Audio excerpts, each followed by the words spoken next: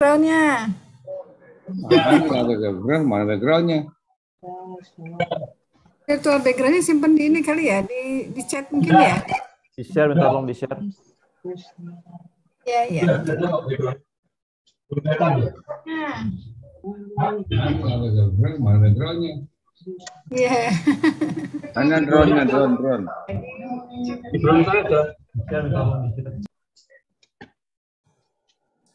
Mas Gani sudah ada Mas Gani. Mas Mas Budiana, Mas Budiana udah masuk belum ya? soalnya saya Kan tunggu-tunggu virtual background. Saya tunggu FS, pas paparan FS.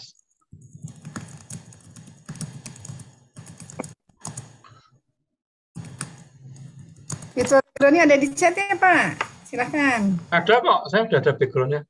Ya, mungkin buat teman-teman yang eh, join, baru join, saya juga ya, Sudah, saya ada saya background itu.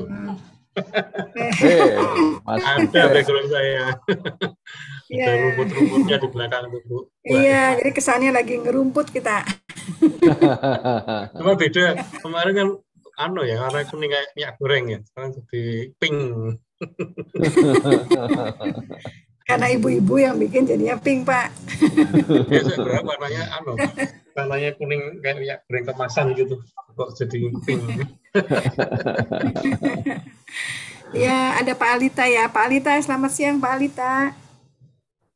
Mas Yang, Iya, Pak Alita kalau pengen background ada di chatting, Pak. gimana? Ada di chatting, saya simpen di chatting backgroundnya. Oh, kan kapan kirimnya? Tahun lalu. Setting. Ini, oke, sudah banyak ya, lumayan ya. Kita mulai setengah dua, sebetulnya kita mulai jam dua sebetulnya. Tapi kalau misalnya udah banyak bisa kita mulai nggak apa-apa ya Pak ya. Oh, Mulai saja. 26. Sabar, sabar. Mulai saja supaya diskusinya bisa panjang, Mbak. Iya, kalau Masih 15 menit, tapi nanti kalau mau diskusi satu jam mungkin jadinya boleh. boleh nggak apa-apa sih menurut saya. Pak Irwan, selamat siang Pak Irwan. Selamat siang Tanti, apa kabar? Ya, Alhamdulillah, baik Pak. Selamat Sudah. siang semua. Alika, kan. Backgroundnya. Pak Hubert, Ya, selamat siang Pak Lita, Pak Irwan. selamat siang Tirto. Selamat siang Pak Irwan. Selamat siang Pak Irwan. Iya nih Mas Tito moderator kita. Selamat siang, Pak Irwan. Selamat siang Tia. Kita masih menunggu Pak Profesor Arif. Pak Tatang. Belum join Pak Arifnya. Aku sudah masuk. Oh sudah, sudah masuk ya? Cuman gimana ganti ini nih pasang pagi Oh, Siang Pak selamat siang. siang siang pasang background gimana Tanti? Pak Tatang itu ada di chatting. Oh saya kirim ya, saya kirim ya. Pak Kirim lagi dong. Ya Pak, saya kirim ya. Thank you, Tan. Apa? Udah udah saya udah terima. Ya, belum. Pasangnya di sini. Taruh di itu Pak, kamera itu Pak. Ya, Jadi. Pak Tatang masuk ke ini ke setting tuh atau di ini jadi videonya nih Pak. Di video nih Setting ada gimana? gambar apa? Oh, Zoom preferences. di stop di Oh itu ya. Itu ya. Oke.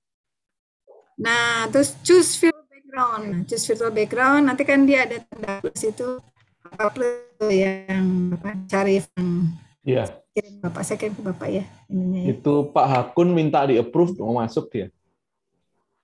Kok nggak pakai approve saya langsung masuk saya. Kok dia Oh, nggak bisa ya? masuk ya? Iya. Ya, saya langsung masuk. Oh, kayaknya udah.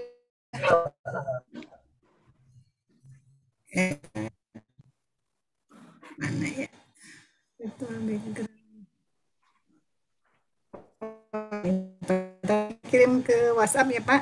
Siap. Hmm. Ya.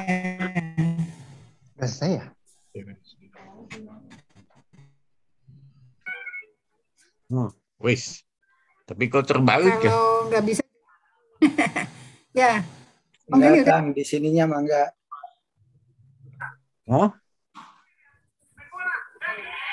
Enggak apa, enggak perlu Oh, diputar balik. Enggak, udah, udah pas. Oh, sudah ada Pak Hakun ya. Pak Tempat selamat saya siang Pak terbalik. Hakun. Selamat siang Bu, saya semua Bu. Ji. Sehat ya Pak? Alhamdulillah sehat Ibu, sehat semua Ji, Bapak dan Ibu. Iya. Iya. Hmm. Ini ada Mas Tirto, Mas Tirto Pak Hakun udah masuk. Ah, Assalamualaikum, waduh ada Pak Datang ini Pak, Pak Tito. Alhamdulillah. Ini guru-guru saya semua ini Bu. Iya. Pak Paulus, selamat siang Pak Paulus. Mbak Tanti, selamat siang. Pak Tito, Ya. Pak semua teman-teman. Selamat siang. Ya, selamat siang Pak Paulus. Selamat siang. Terima kasih. backgroundnya terbalik tuh. Selamat siang Bapak Gus. Selamat siang Pak Tatang. Merdeka Pak. Merdeka. Kalau Tuh, kata Pak Pak Tatang, datang. belum merdeka ya kalau Ini Tatang. kok terbalik nggak apa-apa? Selamat Enggak kok, Kang. Bener. Udah. Udah bener kok Pak Tatang? Pak Irwan. Kok di tempat dan terbalik dari saya sendiri. kabar, Lila? Tapi yang kita lihat nggak terbalik Memang Pak. Pak, memang begitu Pak. Selamat siang semuanya Bapak-bapak, Ibu-ibu. Oh, Mas Lila, selamat siang. Nah, Tirto terbalik emang tuh.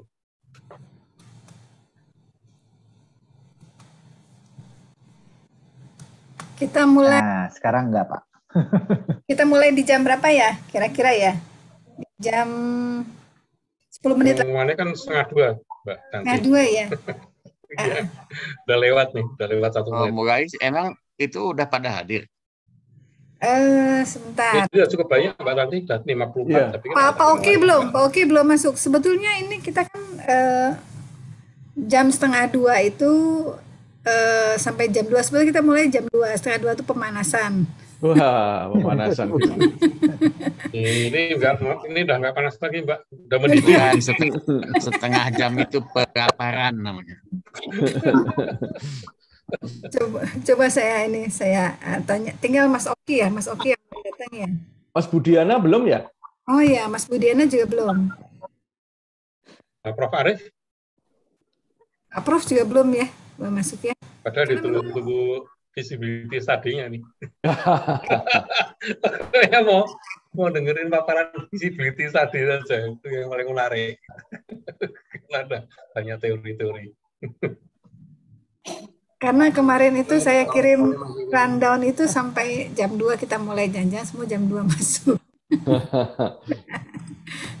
Soalnya antisipasi diskusi makin gayeng Mbak Tanti. Iya. Ya terlambat malah nanti diburu-buru wah waktunya waktunya nah ini kalau ini kan justru kalau ada apa namanya ekstra waktu ekstra 15 menit kan lumayan Iya, betul. Saya pikir kan kalau misalnya bisa lebih cepat mulai bagus juga ya. Jadi kita bisa ya apa dimulai aja deh dimulai aja nggak apa-apa tapi kita saya coba confirm dulu ya sama Mas Oki sama Pak Prof Arif. Jadi jangan sampai jam 2 baru join ya. nggak apa-apa lah kan bukan Prabu Indonesia Raya dulu juga Oke, sebentar Pak Prof Arif coba kita ingatkan dulu ya. Pak Prof Arif. Setiadi Itu sudah bilang kalau ada, harus diingatkan Mas tuh udah sudah profesor tuh. Hah? Kalau harus diingatkan itu udah profesor tuh. Betul, Kang. Kalau profesor wajib lupa ya Pak ya. ya kalau profesor udah lupa kok Siap, siap. Ih, tadi saya belum bisa profesor Pak, belum lupa ini berarti. ya yang belum profesor nggak boleh lupa Ini Pak Oki sudah hadir. Selamat siang Pak Oki. Eh, siang Oh Pak iya Oki. Pak Oki. Terima kasih Pak Oki. Selamat siang. Selamat siang, Pak Tirto, Bu Tati, Siang Pak Oki. Pak Wadi. eh Pak Oki siang, Pak. Oki selamat siang Pak Oki Pak Ganis, Pak Tata, Siang, Pak Oki. Pak Paulus, Ya, Pak Irwan, Pak Selamat Pak- siang Pak Wakil Presiden, gitu kan. Oki kan wakil presiden senior tuh, eh. Ya Pak Toto.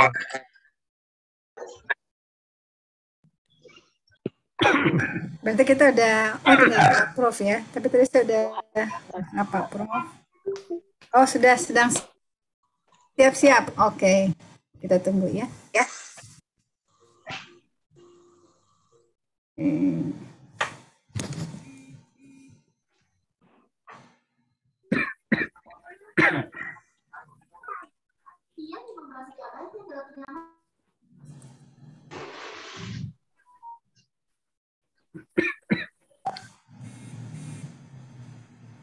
Waduh, batuk-batuk itu. Hati. Maaf, Pak. Pak Boy, eh ada Pak Boy nih. Halo Pak Boy. Ya. Oh ada Pak Boy Sormin. Ini kolega nih, kolega Pak Boy. Boy. Ada Bu Tuti tuh, ada Bu Tuti.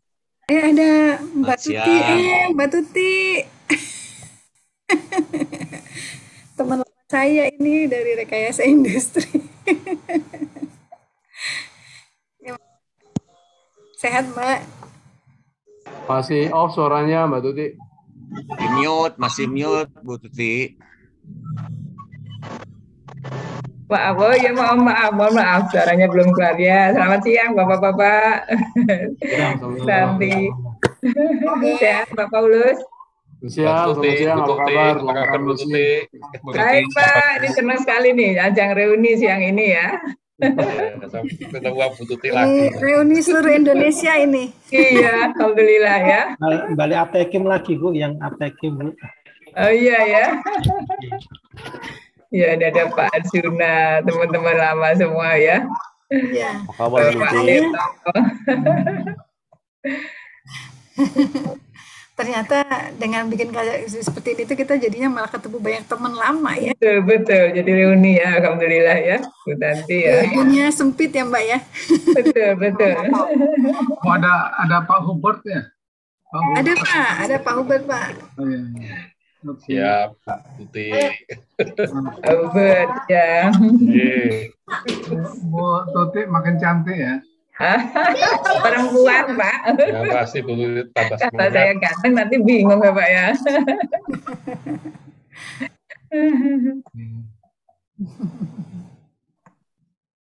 Pak Boy Sormin, ini Pak Boy yang dulu direkin kan ya? Pak, betul betul. Ada lagi dua Boy Sormin nggak ada. Pak Tatang, sehat Pak? Ya, sehat. Iya, jadi Soalnya Boy Sormin cuma ada satu itu yang dari itu ya, yang yang direkin ya. bisa aja Pak Tatang. Hmm. Ada Pak Lukman juga ya? Ada Pak Lukman kah? Ada Pak Lukman. Ini Pak Lukman Lukmanul Hakim nih. Oh, mana Mas Lukman? Oh, masih malu dia, belum bisa buka Zoom. Itu Bu Tanti udah kelihatan. Iya. Oh, ada Pak Ibong. Pak Ibong, selamat siang Pak Ibong. Oh, Pak Ibong belum nyala nah, audionya. nama panggung eh jualan MC ya, ya, ya, ya, MC dan eh, Halo Pak Lila. Selamat datang Pak Lila. Ada Pak Lila. Selamat siang. Siang Pak Lila. Assalamualaikum. Waalaikumsalam. Apa kabar Pak Lila? Baik, sehat Pak. Oh, udah dari tadi Pak Lila ada itu. Belum bersuara, maka di, di, ditutup pintunya baru bersuara. Assalamualaikum. Wah, kayaknya Lila kelihatannya agak kurus tuh. Hah? Puasa kali. Puasa baru lima hari ya Pak ya? Eh enggak, seminggu ya? Puasa berapa hari ini masih nggak kurus-kurus saja nih Pak. Yang kurus rambutnya Lila. Ya, Pak. Berarti masih kebanyakan makan tajilnya itu Mas Lila hmm. Kalau menjelang puasa terus uh, olahraga mungkin makin kurus cepat. Mungkin.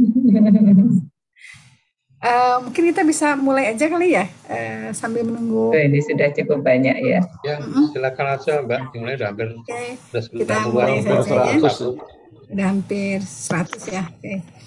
Okay, uh, Ya, Assalamualaikum warahmatullahi wabarakatuh. Waalaikumsalam wabarakatuh. Eh, eh, salam sejahtera untuk eh, kita semua ya. Alhamdulillah kita sudah bisa berkumpul di waktu siang ini setelah beberapa minggu berencana ya Pak Ganis iya. mengadakan webinar ini. Ini banyak masukan dari teman-teman ini isu minyak jelantah ini memang masuk isu yang hot juga selain minyak goreng yang hilang. Jadi eh, jadi limbah betul ya. Minyak ini memang jadi limbah dan kalau misalnya bisa kita manfaatkan kan akan sangat baik ya. Selama ini kan selalu merepotkan ya. Eh, untuk ibu-ibu di rumah eh, seperti apa tuh? Bergoreng tiga kali wah udah hitam tuh. Aduh udah kesel ya masukin ke solokan. Wah kacau ya kan? Kita taruh di? Untuk oh, kita taruh di mana? Di tempat pembuangan.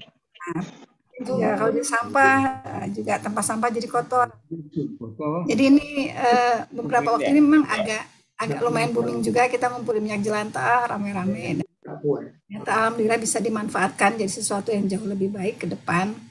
Termasuk juga ini kan bagian dari circular ekonomi ya. Jadi kita ada limbah yang bisa dimanfaatkan untuk industri lain. Itu, itu bagian dari berkah ya dari industri eh, saat ini jadi eh, tidak lupa saya mengucapkan selamat datang dan terima kasih banyak untuk eh, para senior, eh, para dosen pengajar eh, teknik kimia di seluruh Indonesia, eh, di dari teknik kimia ITB, dari Pak Tatang, Pak Irwan, coba saya lihat satu-satu ada yang kelewat. Eh, mungkin eh, dari Eh, sebentar saya lihat ya ada Pak Tatang, ada Pak Irwan, ah, Pak Tirto, aduh maaf Pak Tirto. Kemudian Mas Jejen, Pak Jejen juga eh, pengajar juga ya di Teknik Kimia ITB. Kemudian ada Pak Aksa juga saya lihat masuk juga. Eh, kemudian dari dari oh ada Pak Wawan ya Pak Wawan Pak Ardian, Rimawan dosen TK juga Teknik Kimia ITB. Kemudian juga dari ITS eh, Pak Hakun, Pak Hakun selamat siang. Eh, kemudian eh, dari UGM Pak Profesor Arif. Eh, mungkin belum semua saya sebutkan, mohon maaf kalau belum bisa saya sebutkan karena ini agak susah juga. Ada dosen lain Pak yang hadir Pak dari ITS dan dari UGM? Pak Gani. Ada, Oh, Yes, ada. ada saya. ya Pak.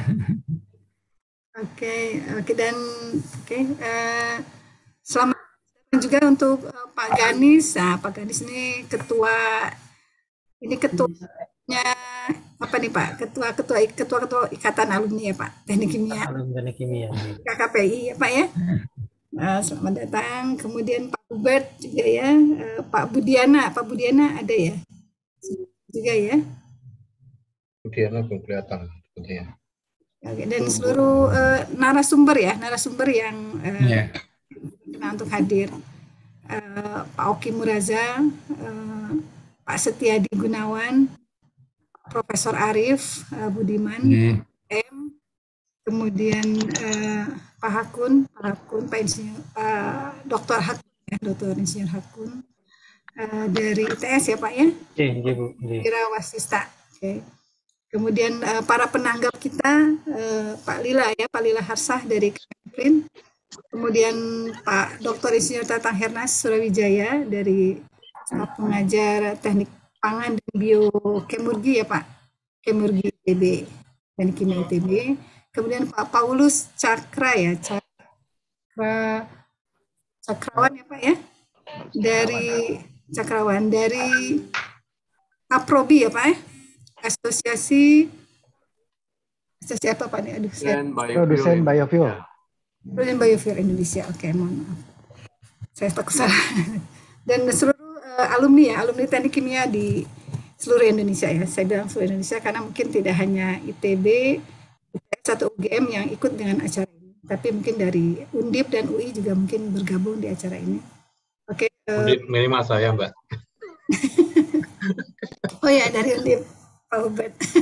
Ada Pak Siswanto juga. Ada Pak Siswanto ya Pak. Oh, Pak Siswanto, selamat siang Pak Siswanto. Oke, Alhamdulillah eh, puji Tuhan untuk eh, eh, untuk bersilaturahmi di. Tidak hanya bersilaturahmi tapi kita juga eh, berusaha untuk eh, sharing ilmu ya, sharing ilmu eh, yang bermanfaat untuk kita semua.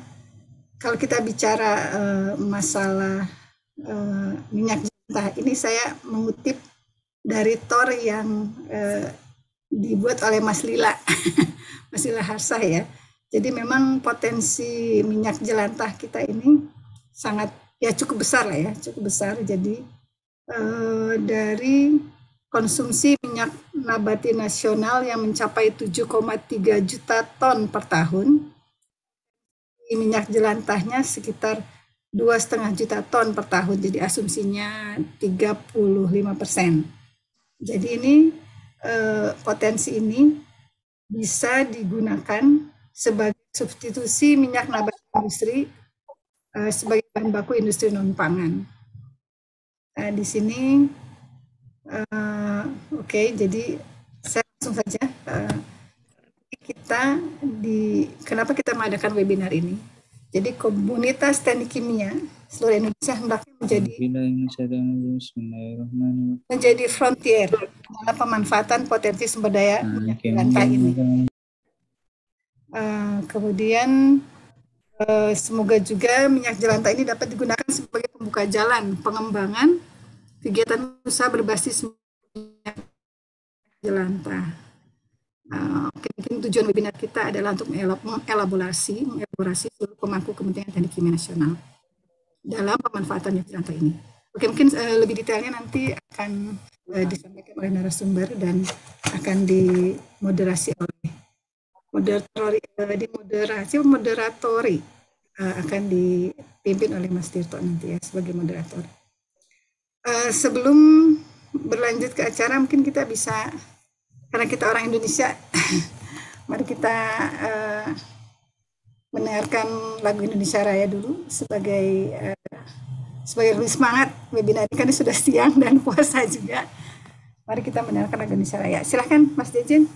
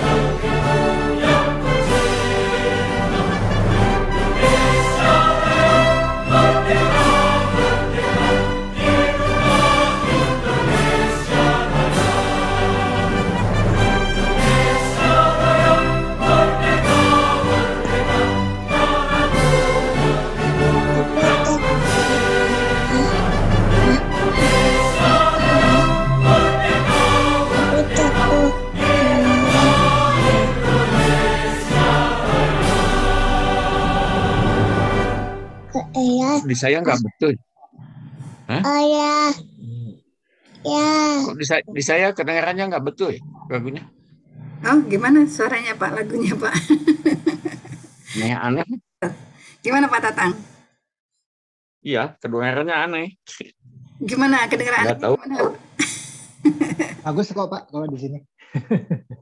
Bagus ya. Berarti komputer salah ya. Oke, jadi hiduplah Indonesia Raya gitu ya. Jadi kita memang harus tetap optimis ya, semangat untuk kemajuan Indonesia kita ya. Oke, eh, sebelum kita eh, lebih lanjut ke acara berikutnya, agar acara kita lancar eh, dan memberikan manfaat untuk kita semua, mari kita menundukkan kepala sejenak. Eh, mari kita eh, berdoa menurut keyakinan eh, agama masing-masing. Oke, eh, berdoa dimulai.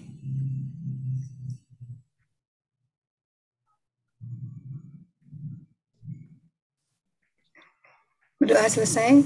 Oke, eh, sebelum kita masuk ke acara, saya ingin eh, dari ketua ketua ikatan alumni teknik kimia seluruh Indonesia untuk memberikan sedikit kata sambutan.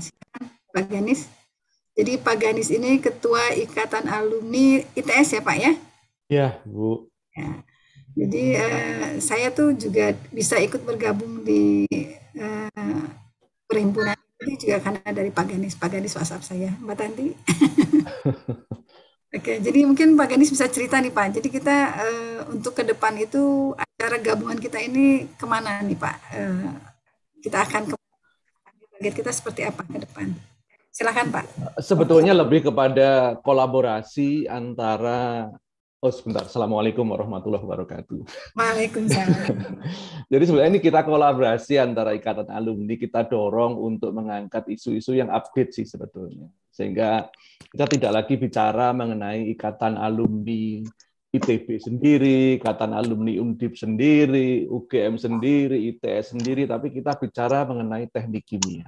Kita berbicara tentang insinyur, kita bicara tentang Indonesia dan bagaimana memberikan manfaat untuk keber, apa, eh, ke, ke, kejayaan Indonesia ini. Saya rasa itu yang penting yang kita dorong. Sehingga tidak tersekat-sekat lagi dalam kamar-kamar yang justru membuat kita tidak bisa berkolaborasi dengan baik dan menghasilkan sesuatu yang luar biasa. Begitu kira-kira Bu Tanti. Oke, siap. Mantap ya Pak. Insya Allah ya Pak ya. Semoga target kita semua bisa tercapai. Amin. Ya, karena setiap uh, prodi atau universitas uh, ada target luhurnya sendiri masing-masing. Ya. Kalau kita berjalan sendiri mungkin kita kalau susah nggak tahu minta tolong siapa ya Pak ya.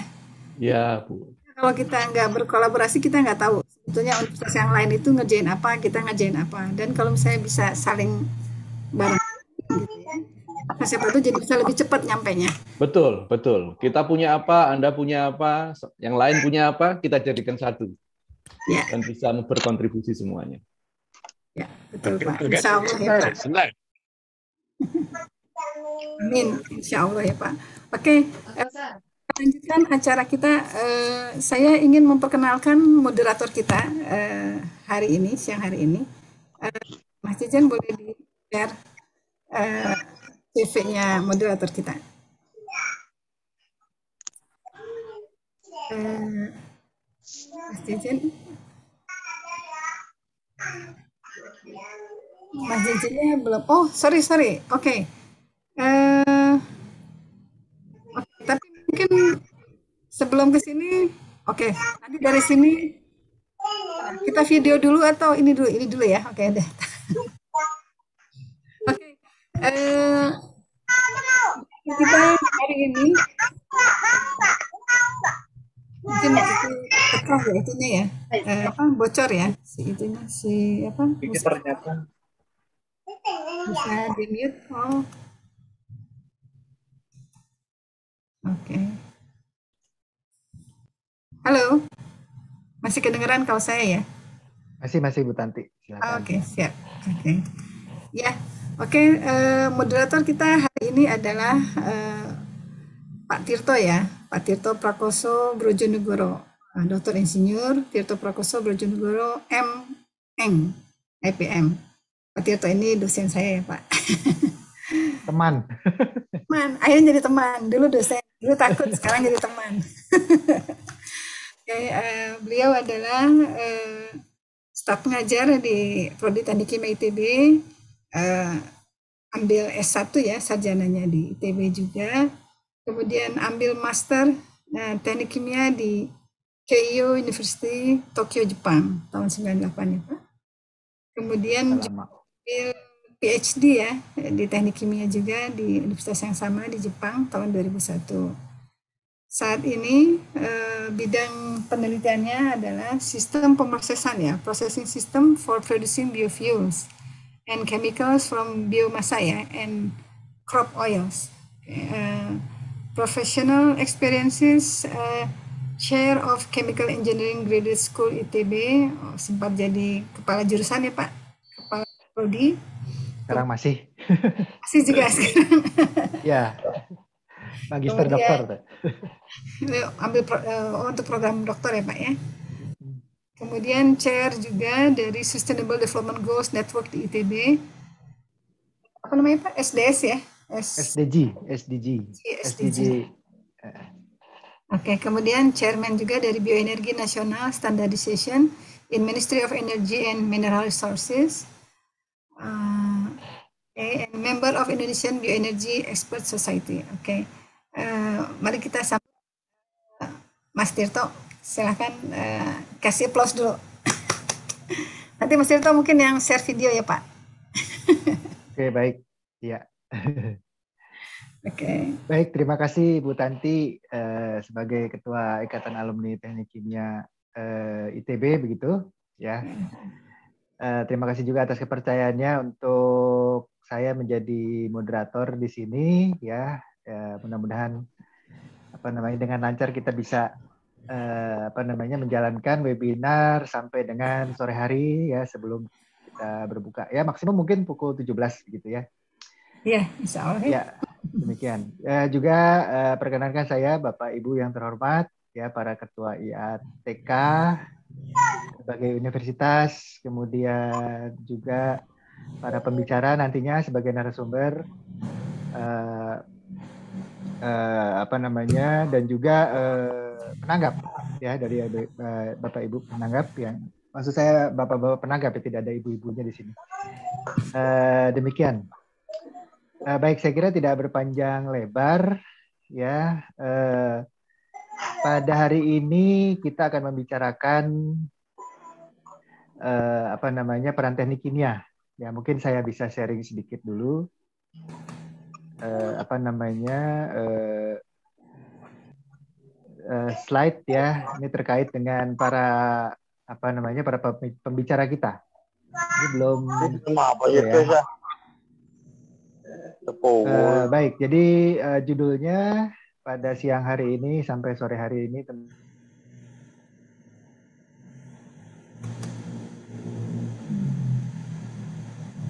Eh, sudah bisa terdengar mungkin? Tadi Iya, ada ada mute nampaknya. Sudah bisa ya? Baik. Sudah. Eh, apa namanya? Topik pada siang sore hari ini adalah peran teknik kimia dalam pemanfaatan potensi minyak jelantah pada skala uh, komersial industri. Uh, demikian dan kemudian uh, ada uh, beberapa uh, narasumber dan juga penanggap di sini. Nah, uh, tadi kesepakatannya adalah kita akan bacakan dulu ya uh, biodata dari para narasumber dan kemudian ketika nanti sampai dengan penanggap ya kita akan bicarakan eh, akan sampaikan eh, biodata dari setiap pembicara eh, setiap penanggap maaf. Mohon maaf nih siang-siang jadi agak kurang tune in. Puasa, puasa ya Pak. baik eh, narasumber pertama ini adalah Pak Hakun Wira ini hampir salah baca saya Wira Wasista Aparamarta begitu ST eh, MMT PhD Eh, beliau beliau adalah staf pengajar ya Bu Tanti ya? Iya. staf pengajar di eh, Teknik Kimia ITS ya begitu ya? Teknik pangan, teknik kimia ya. Oh ya teknik pangan teknik kimia ya Pak ya? Mohon maaf nih kalau salah nih. Ya eh, sarjana teknik kimia beliau ber- eh, apa historis eh, pendidikannya adalah sarjana teknik kimia eh, di ITS Surabaya Eh, ini lulus tahun 2002 eh, eh, masuk 2002 ya Pak? Lulus tahun 2002, Pak. Oh, lulus tahun 2002 baik. Iya, Magister iya. Manajemen Industri juga eh, ini di ITS Surabaya 2007 lulus begitu kemudian eh, PhD Chemical Engineering di NTST Taiwan 2017 lulus. Eh, riset field-nya eh, renewable energy, lipid, food and processing technology ya mirip-mirip ya dengan eh, saya juga ini. Nah, kemudian professional experience adalah tim leader MIT Indonesian Collaboration Research, MIRA. Oh, sempat ikut MIRA ya, Pak? Baik. Iya, Pak. Ya, kemudian tim leader social mapping ITS Pertamina Project tahun 2018, kemudian tim leader flagship project ITS Purification Glukomanan Inforang. eh, Inporang ya Surabaya. Wah, ini eh, apa namanya? isu yang cukup santer juga ya. Kemudian reviewer in Q1 and Q2 Post Journal Helion Bioscience. Oh baik Pak. Itu eh, Pak Hakun. Ya, kemudian berikutnya adalah Pak Oki Muraza, Dr. Oki Muraza. Eh, beliau sarjana teknik kimia Institut Teknologi Bandung, lulus tahun 2001. Kemudian eh, master di Technische Universiteit eh, Delft tahun 2004, kemudian PhD Chemical Engineering Technische eh, Universiteit Eindhoven ya, tahun 2009. Eh, beliau eh, sekarang menjabat Senior Vice President di RTI atau Research Technology Innovation di PT Pertamina dan sebelumnya Associate Associate Professor di King Fahd University Petroleum and Minerals di Arab Saudi. Eh, penghargaannya cukup banyak. Tahun 2013 prestigious grant from KACST, kemudian eh, 2016-2021 Patent Awards dan 2017-2020 ada World Class Professor Kemenristek seperti itu. Baik, kemudian selanjutnya adalah Profesor Dr. eh, Eng Insinyur Arif Budiman. Beliau adalah staf pengajar di eh, UGM, begitu ya Pak? Eh, Sarjana Teknik Kimia UGM tahun 1984, kemudian Magister Teknik Kimia UGM 1992, kemudian PhD Chemical Engineering Tokyo Institute of Technology 1997. Jadi sama-sama dengan saya Pak ya, alumni dari Jepang. Iya Pak Tirto. Riset fieldnya adalah Tropical Renewable Energy System, Algae Biorefinery, eh, Biorefinery dan Biomass to Energy and Chemicals. Eh, baik, jadi Kemurgi ini ya. Uh, Professional Experi- Experience, uh, Director Center of Excellence of Microalgae Biorefinery UGM, kemudian inisiator, koordinator proses System Engineering Research Group, uh, Departemen uh, Teknik Kimia UGM. Nah, berikutnya adalah Bapak Setiadi Gunawan Teng. Professional experience-nya adalah eh, beliau adalah CV Arta Metro Oil 2005 sampai sekarang sebagai direktur, kemudian Multi Cahaya Indo 2011 sampai sekarang sebagai komisaris, kemudian PT Indo Arta Metro sebagai komisaris dan ketua asosiasi AMG AMG ya eh, periode 2022 sampai 2024. Eh, jadi demikian dan kemudian sebetulnya ada nanti ada penanggapnya mungkin nanti akan saya bacakan sedikit lagi adalah Pak Tatang Hernas yang sudah saya kira eh, Bapak Ibu kenal, kemudian Pak Paulus juga begitu. Ya, beliau dari Aprobi dan juga eh, Pak Lila Harsah dari eh, Kemenprin. Eh, demikian Bapak Ibu. Baik, saya stop share dulu dan saya kira diawali oleh Pak Hakun ya Bu Tanti ya. Iya, Pak Hakun. Ya, Pak Hakun, kemudian Pak Oki, kemudian Profesor Arif dan Pak Stiadi. Iya, masing-masing 15 menit ya, Pak Tirto ya. Masing-masing 15 menit. Baik. Iya. Pak Mungkin keternya ya. monggo silakan eh, waktunya eh, apa namanya bisa digunakan tentunya untuk bicara 15 menit. Pak Hakun, terima kasih banyak. Oke, siap. Monggo, Pak. Izin, nggih, matur nuwun Pak Tito, izin share screen Bapak dan Ibu nggih. Ya, Nah, silakan Pak. Sudah saya set, Iya. bisa share screen. Iya, siap. Ini guru-guru saya ini, jadi saya agak canggung juga ini. jangan Pak, jangan.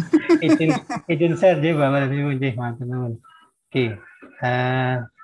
nggih, ini sebetulnya eh, sudah sekilas tentang ini apa namanya profil saya, apa namanya ini ada beberapa jurnal yang eh, saya publish eh, terkait eh, eh, nyamplung ya. Jadi sebetulnya hampir sama dengan minyak jelantah. Jadi eh, nyamplung ini juga kurang dimanfaatkan ya karena orang-orang ini tidak paham tentang keekonomian dari nyambung dan uh, kami temukan ternyata tidak hanya buat untuk biodiesel, ini ada beberapa yang bisa untuk uh, obat-obatan, jadi uh, bioactive compound, jadi uh, apa namanya obat kanker, bahkan untuk HIV ini ada.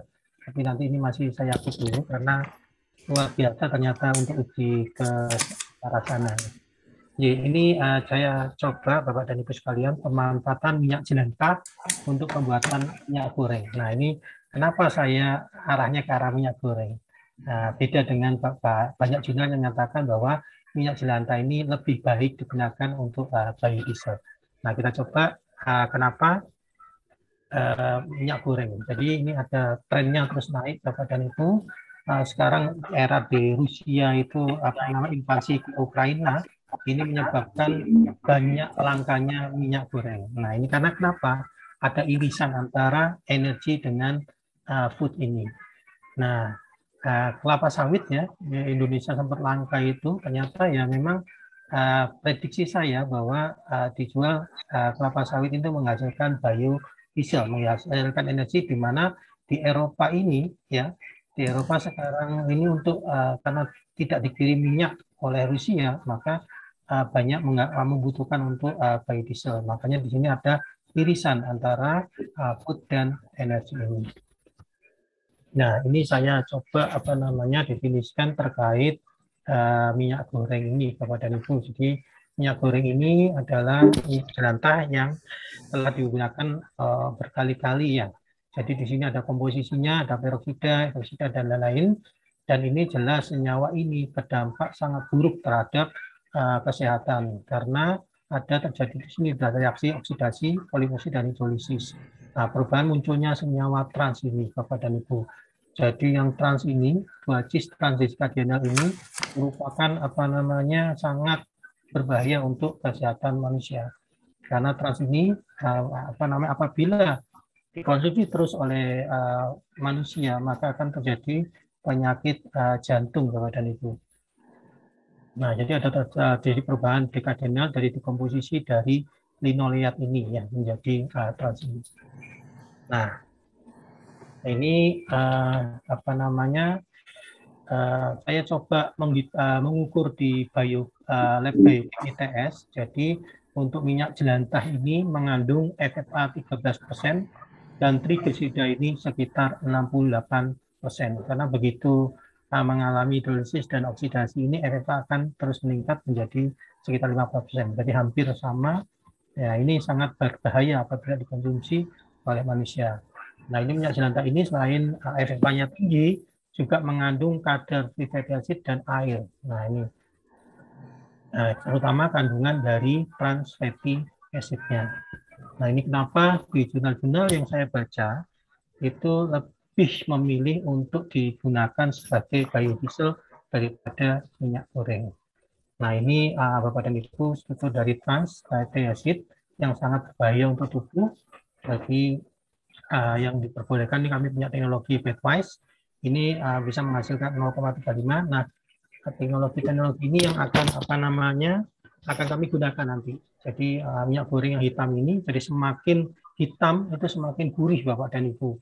Jadi makanya penyakit mahasiswa di ITS bahkan mahasiswa mungkin di Indonesia ya karena sering makan gorengan ini adalah kolesterol asam urat. Nah ini karena minyak gorengnya yang sangat hitam ini. Jadi TFA, acid ini can induce the cancer, obesity, and diabetes. Jadi diabetes ini jadi permasalahan baru di Indonesia karena sampai sekarang orang-orang yang kena diabetes ini belum paham kalau di, dirinya terkena diabetes mellitus yang tipe 2. Nah ini et al tahun 2005, TFA akan increase the risk of coronary heart disease. Nah ini, ini sangat berbahaya.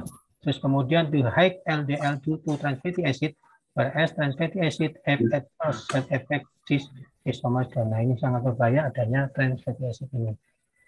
Nah, karena uh, kebanyakan minyak goreng yang dipakai di Indonesia itu adalah turunan dari uh, kelapa sawit, Bapak dan Ibu. Nah, kami coba, jadi uh, fatty acid ini ada senyawa karsigonik yaitu 3-MCPD uh, eh, apabila di apa di deodorisasi dalam suhu di atas 200 derajat Celcius ini akan muncul dan kebanyakan uh, pemurnian dari uh, arah minyak goreng ini pada suhu di atas 200. Nah, ini menyebabkan sangat berbahaya da- dari 3-MCPD.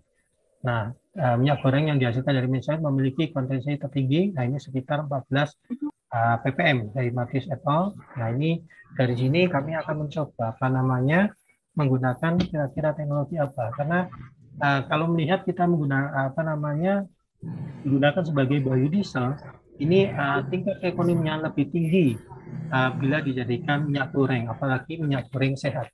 Jadi uh, uh, tim kami ini lagi mencoba untuk membuat minyak goreng sehat dari kelapa sawit dan minyak jelantah dari uh, kelapa sawit. Nah ini, apakah kira-kira ada peluang menjadi minyak goreng? Nah ini Bapak dan Ibu, jadi kami mencoba di sini komposisi CPU-nya. Jadi uh, kadar apa namanya MUFA, jadi MUFA ini monounsaturated fatty acid, uh, PUFA ini polyunsaturated fatty acid, dan di sini ada saturated uh, fatty acid. Di mana untuk uh, CPU ini uh, kadar antara SFA dan PUFA ini hampir uh, setara, jadi SFA-nya ini hampir 50%, sedangkan PUFA-nya juga hampir 50%. Nah, ini kita mencoba dari sini apabila apa namanya sudah menjadi minyak jelantah. Nah, ini kadar SFA-nya untuk apa ya, dia dari fat and oil tahun 2015 atau kita kesetarakan dengan minyak zaitun. Minyak zaitun itu adalah minyak sehat. Jadi kadar SFA-nya antara 15% dan FA-nya 80%. Tetapi kami akan mencoba antara uh, SFA-nya ini sekitar 35 atau 40% supaya apa namanya lebih aman pada uh, suhu supaya tidak terbentuk dari TFA ini. Jadi otoritas keamanan pangan konsentrasi maksimum 3 mcpd ini 0,8 mg per kilogram berat badan per hari menurut Alexander et al tahun 2016. Nah di sini uh, apa namanya kami akan coba apa namanya minyak jelantah dari uh, uh, fatty apa dari kelapa sawit ini. Nah sebelum ini saya lanjut aja. Jadi uh, penelitian sebelumnya uh, tim kami, nah ini Pak Gunawan ini menggunakan metode solvent extraction. Jadi berulang dapat meningkatkan kemurnian selama purifikasi. Uh, metode ini sudah kami patenkan Bapak dengan nama bedwise solvent extraction. Terus kemudian karena bedwise solvent extraction ini terlalu lama, kami modif. Jadi ini saya Aparamata Alcohol itu menggunakan Microsoft Assistant Extraction. Jadi kombinasi antara MAE dan BSE ini. Terus uh, ini uh, jurnal saya di uh, Energy Reports ya. Jadi MAI dan BC jadi ternyata kemurniannya ini lebih tinggi. Nah, dari sini nah ini untuk uh, kasusnya pada nyambung semua dan Ibu. Nah ini adalah teknologinya definisinya uh, MAE jadi ini uh, CPU termasuk sebagai uh, dalam apa namanya uh, uh, variasi crude oilnya terus kemudian kita masukkan di microwave assisted extraction nanti akan terpisah menjadi polar lipid fraction dan non-polar lipid fraction. Nah, di sini dengan variasi daya dan waktu. Nah, di sini ternyata uh, NTF-nya ini, NTF-nya ini ternyata uh, lebih murni, ya, lebih murni setelah uh, dilakukan Microsoft Assisted Extraction. Nah, kemudian terkait BS ini kita memakai uh, dua jenis solvent, polar dan non-polar. Nah, kita variasikan pada kondisi tertentu, terus kemudian diaduk dan dipisahkan antara PLF dan NPLF. Ini uh, sampai kita lakukan sampai state ke-8 di mana uh, TG-nya ini akan semakin besar dan FA-nya semakin uh, sedikit. Nah, ini uh, apa namanya metode gabungan yang sekarang uh, saya kembangkan dan sudah saya terus untuk uh, kami terus uh, meneliti untuk mendapatkan uh, TG dengan kemurnian di atas 98% untuk uh, minyak jelantah dari uh, crude palm oil. Nah, di sini kita juga menurunkan FFA dan resultnya Bapak dan Ibu, alhamdulillah ini apa namanya dari sini ya dari sini dari jurnal yang apa namanya di IGTech ya Paramata et al tahun 2019 ini uh, kami coba analogikan dengan apa namanya kadar fat free fatty acidnya 15% ini bisa menjadi satu uh, persen. Uh, tetapi uh, kadar SNI ini menggunakan kalkulasi 0,3, sedangkan uh, kami menggunakan GC. Ternyata GC ini uh, persentasenya lebih tinggi dibandingkan dengan uh, titrasi nanti akan kami bahas selanjutnya. Nah, di sini uh, berhasil menurunkan luar biasa dari 15% menjadi satu persen. Dan di sini kita mendetek adanya TICI di mana TICI ini adalah mayoritas yang ada di uh, minyak goreng. Nah, terus kemudian di sini uh, fatty acid profile. Dari jurnal kami di Aparamata et al. tahun 2020 di mana uh, MAE ini di sini adalah combination MAE dan BSE di sini ada BSE, kita lihat di sini dan Ibu, uh, kondisi microwave ini hampir menurunkan. Jadi awalnya oh, di nyamplung ini sekitar 60% saturated fatty acid, itu bisa mengumpulkan hampir uh, menurunkan menjadi 30%. Hampir 30%, terus kemudian di mana uh, unsaturatednya ini bisa mencapai uh, 60 uh, persen, 60 sampai 70 persen. Nah kombinasi juga hampir sama, serupa. Jadi yang kondisi dengan apa namanya adanya MAE terus kemudian di mana uh, yang paling tinggi ini adalah linoleic nah linoleic acid nah kemudian bedwise di sini ada uh, saturated dan di sini ada unsaturatednya nah ini bapak dan ibu uh, kami iseng-iseng apa namanya uh, mencoba menganalisa minyak goreng kemasan menjisi yang ada di pasaran ternyata tinggi bapak dan ibu jadi uh, minyak goreng ini free fatty acid-nya 2,02 persen. Sedangkan uh, untuk TC dia 90,6 persen. Padahal sesuai SNI harusnya free fatty acid dengan titrasi 0,3 persen. Terus kemudian uh, untuk uh, itu sekitar 98 persen. Nah di sini uh, TC 90. Nah ini untuk minyak goreng sehat, Bapak dan Ibu. Nah, di sini minyak zaitun kami coba apa namanya lihat bahwa 1,06 persen dan 92,42. Nah, sedangkan yang uh, sampel kami yang uh, kami kondisikan dengan MAEBC ini uh, free fatty acidnya 0,62 jauh di atas yang ada di uh, apa namanya pasaran itu. Terus kemudian TG-nya itu 98,4 persen. Nah di sini uh, kami melihat bahwa metode yang kami kembangkan ini kombinasi MAEBC ini uh, sangat apa namanya sangat layak untuk uh, mengolah dari iya. minyak uh, jelantah ya. Dan ini kami lagi mencoba. Nah sekarang lagi apa nah ongoing untuk uh, apa namanya ada dari uh, fatty acid profile. Nah kalau misalnya kami mencoba fatty acid profile-nya apa namanya bisa apa saturated fatty acid-nya ini turun menjadi kurang dari uh, eh, 50% antara 30-an persen. Uh, terus kemudian unsaturatednya ini apa namanya bisa di atas 50 persen, di mana nanti uh, sesuai dengan minyak uh, goreng minyak goreng itu ada kadar antara oleik dan linoleic acid. Ini kami lagi uh, terus berupaya di sana. Saya rasa itu yang bisa kami sampaikan Bapak dan Ibu uh, sedikit terkait minyak jelantah. Jadi minyak jelantah ini Nah, saya rasa, kami rasa dari tim ini untuk sementara masih bisa kita olah menjadi minyak goreng, tetapi dengan treatment khusus. Karena kenapa? Uh, kadar apa nama trans fatty acid yang ada di minyak jelantah ini cukup uh, lumayan tinggi Bapak dan Ibu. Karena maka maka daripada jurnal ini jurnal-jurnal uh, yang lain ini menyebutkan sebaiknya digunakan untuk uh, biodiesel. Tetapi kami tim kami mencoba bagaimana minyak jelantah tadi kami lakukan treatment ya untuk menjadi minyak goreng karena nilai ekonomi dari minyak goreng dan biodiesel yang ada di Indonesia saya sebutkan yang ada di Indonesia ya karena di Indonesia ini ada uh, subsidi dari solar maka uh, nilai ekonomi dari minyak goreng ini lebih tinggi apalagi dibandingkan dengan biodiesel apalagi kalau uh, digunakan untuk menjadi minyak goreng sehat Nah, minyak goreng sehat nanti kami coba apa namanya sesuai dengan minyak dari minyak zaitun. Saya rasa itu yang bisa kami sampaikan. Saya kembalikan ke Pak Tito. Mbak.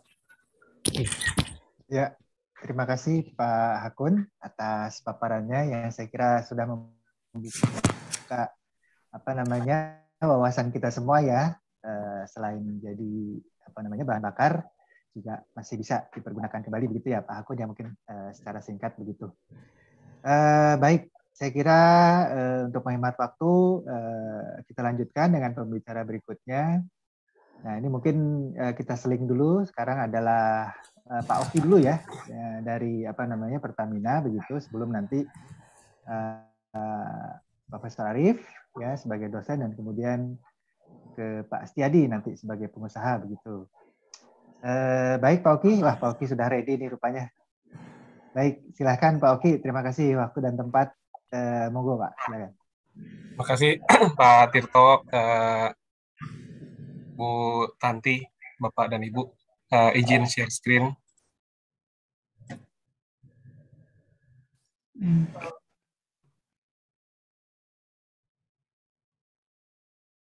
Sudah kelihatan belum Pak Tirto? Sudah, sudah, sudah Mas Oki. Udah ya. Uh, terima kasih banyak nih Pak Panitia IATK uh, sudah menyatukan teknik MIA se-Indonesia ya.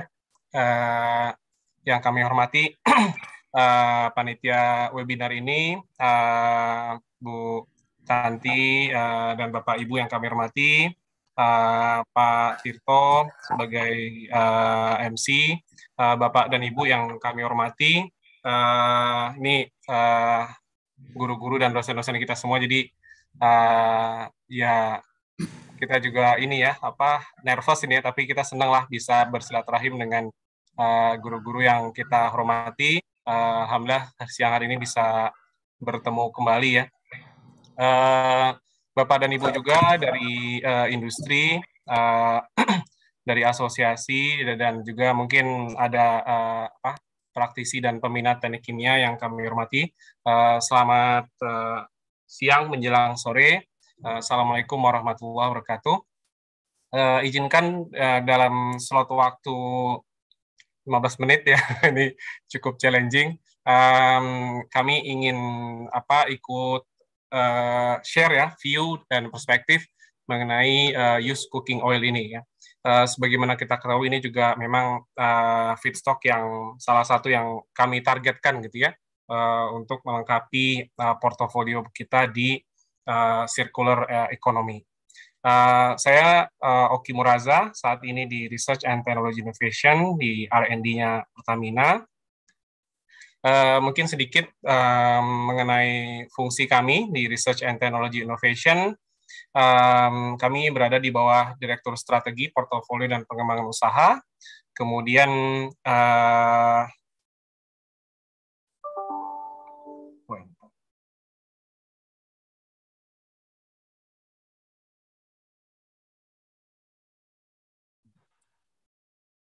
pointer. Ya, um, jadi ada uh, upstream research, downstream research, dan kemudian ada commercial and development, dan juga ada uh, operasional di lab ya. Nah, siang hari ini kita akan mendiskusikan sesuatu under uh, new and renewable research ya. Di situ ada battery, ada uh, biofuel, dan dan yang lain ya. Uh, kemudian um, untuk research and technology innovation ini kami uh, sejak tahun lalu aktif menggandeng uh, apa mitra-mitra kampus dan juga uh, industri lain uh, dalam bentuk yang uh, berbeda. Ada kami aktivitas penelitian bersama di Kedareka uh, di Kemendikbud uh, Ristek ya. Uh, itu uh, untuk riset-riset yang TRL-nya masih rendah. Kemudian ada juga yang uh, TRL tinggi yang uh, dengan LPDP ya. Selain itu tentunya ada juga uh, aktivitas kami di PSN ya, Program Strategis Nasional untuk misalnya membuat uh, pabrik uh, katalis merah putih dan juga um, demonstration plan ya uh, untuk uh, bio uh, refinery ini. Kemudian uh, izin melaporkan juga saat ini kami juga sedang mengerjakan uh, task force Energy, Sustainability and Climate ya. Uh, ini di B20 di di G20 uh, sebagai chairnya adalah uh, Dirut Pertamina, kemudian dibantu oleh uh, Managing Director Jababeka Pak Agung dan saya sendiri uh, bertugas sebagai Policy Manager. Jadi uh, di di B20 ini kami sedang membuat list uh, potential investment uh, selain policy recommendation ya, membuat list uh, showcases di bidang energi transition dan juga um, komitmen untuk investasi di bidang energi transisi. Jadi mungkin jika ada Bapak dan Ibu di industri yang uh, berminat, mungkin kita bisa persiapkan uh, yang bisa kita announce dan dilaporkan ke uh, Presiden ya uh, untuk uh, G20. Apa saja komitmen-komitmen kita untuk uh, investasi di bidang uh, energi transisi. Kemudian untuk topik hari ini, um, ini cocok sekali dengan salah satu portofolio di Pertamina ya. Ini uh, strategi Pertamina secara umum uh, menyambut energi transisi. Kita ada mempertinggi uh, kapasitas uh, geothermal gitu ya.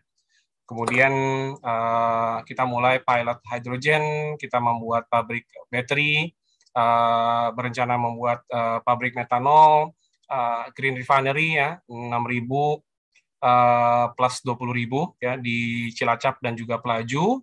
Uh, kemudian bioenergi dan circular carbon economy ini tentunya kita di situ berusaha mengolah tandan kosong menjadi second generation bioethanol, uh, pome menjadi biogas ya. Ini sedang kami jajaki juga untuk bisa masuk ke fasilitas uh, infrastruktur gas dan juga uh, sore hari ini ya kita melihat use cooking oil ya yang bisa kita manfaatkan bersama. nah ini mengenai use cooking oil tadi sudah disampaikan oleh Pak Hakun dan saya yakin dan percaya uh, para pembicara selanjutnya akan membahas secara detail, terutama nanti kita punya Pak Tatang, ada uh, Pak Arief dan yang lainnya ya yang akan membahas ini secara lebih detail. Tapi memang uh, secara singkat uh, use cooking oil ini berpotensi ya, uh, tapi tentunya kita perlu ada pretreatment ya dan um, ada kandungan uh, pengotor uh, free fatty acid ya dan juga uh, water yang memang perlu kita tangani bersama. Gitu ya. Nah, opsinya apa saja?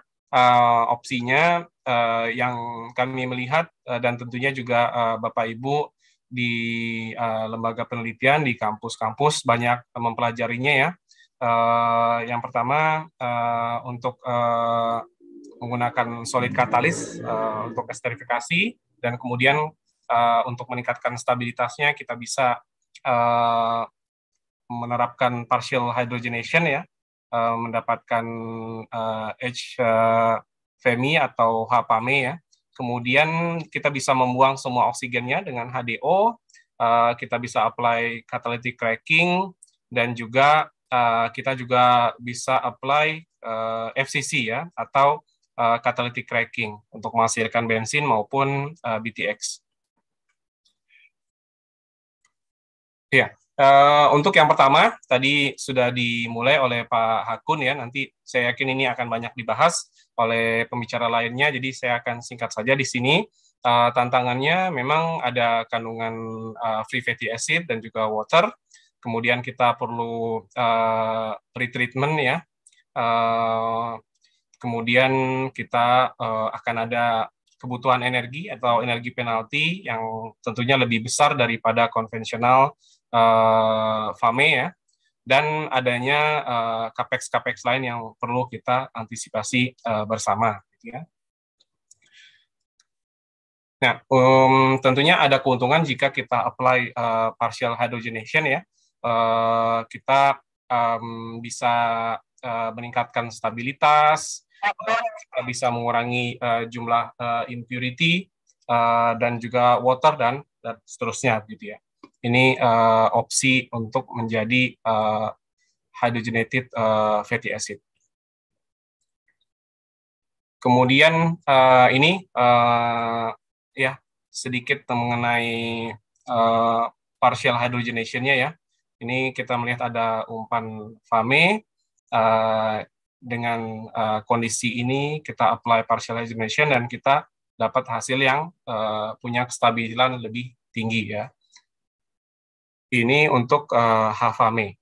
Kemudian jika kita melihat uh, kualitasnya ya um, antara Fame dengan uh, methyl ester yang berasal dari used cooking oil atau UCO ini memang ada beberapa parameter atau properties yang perlu terus kita tingkatkan bersama-sama ya. Ini uh, ada beberapa yang memang masih uh, outspec ya uh, parameternya ini dan tentunya dengan penelitian kita berharap kita bisa memperbaiki properties ini dan siap untuk digunakan di industri gitu ya. Uh, kita perlu improve uh, trans esterification-nya, catalytic uh, processes-nya kita juga perlu improve sedemikian rupa sehingga nanti bisa siap untuk dijadikan untuk uh, blending komponen dan juga untuk kompra, apa aplikasi di industri yang tentunya membutuhkan spek uh, tidak begitu ketat. Ini propertiesnya. Kemudian uh, kita sudah melihat juga ada banyak aktivitas serupa ya uh, di beberapa negara uh, menggunakan uh, feedstock ini ya. Ini kita lihat ada di Scotland menggunakan Yuko, ini juga Yuko ya, uh, dan juga uh, ini di, sudah dimulai di apply di uh, untuk blending uh, di marine fuel ya.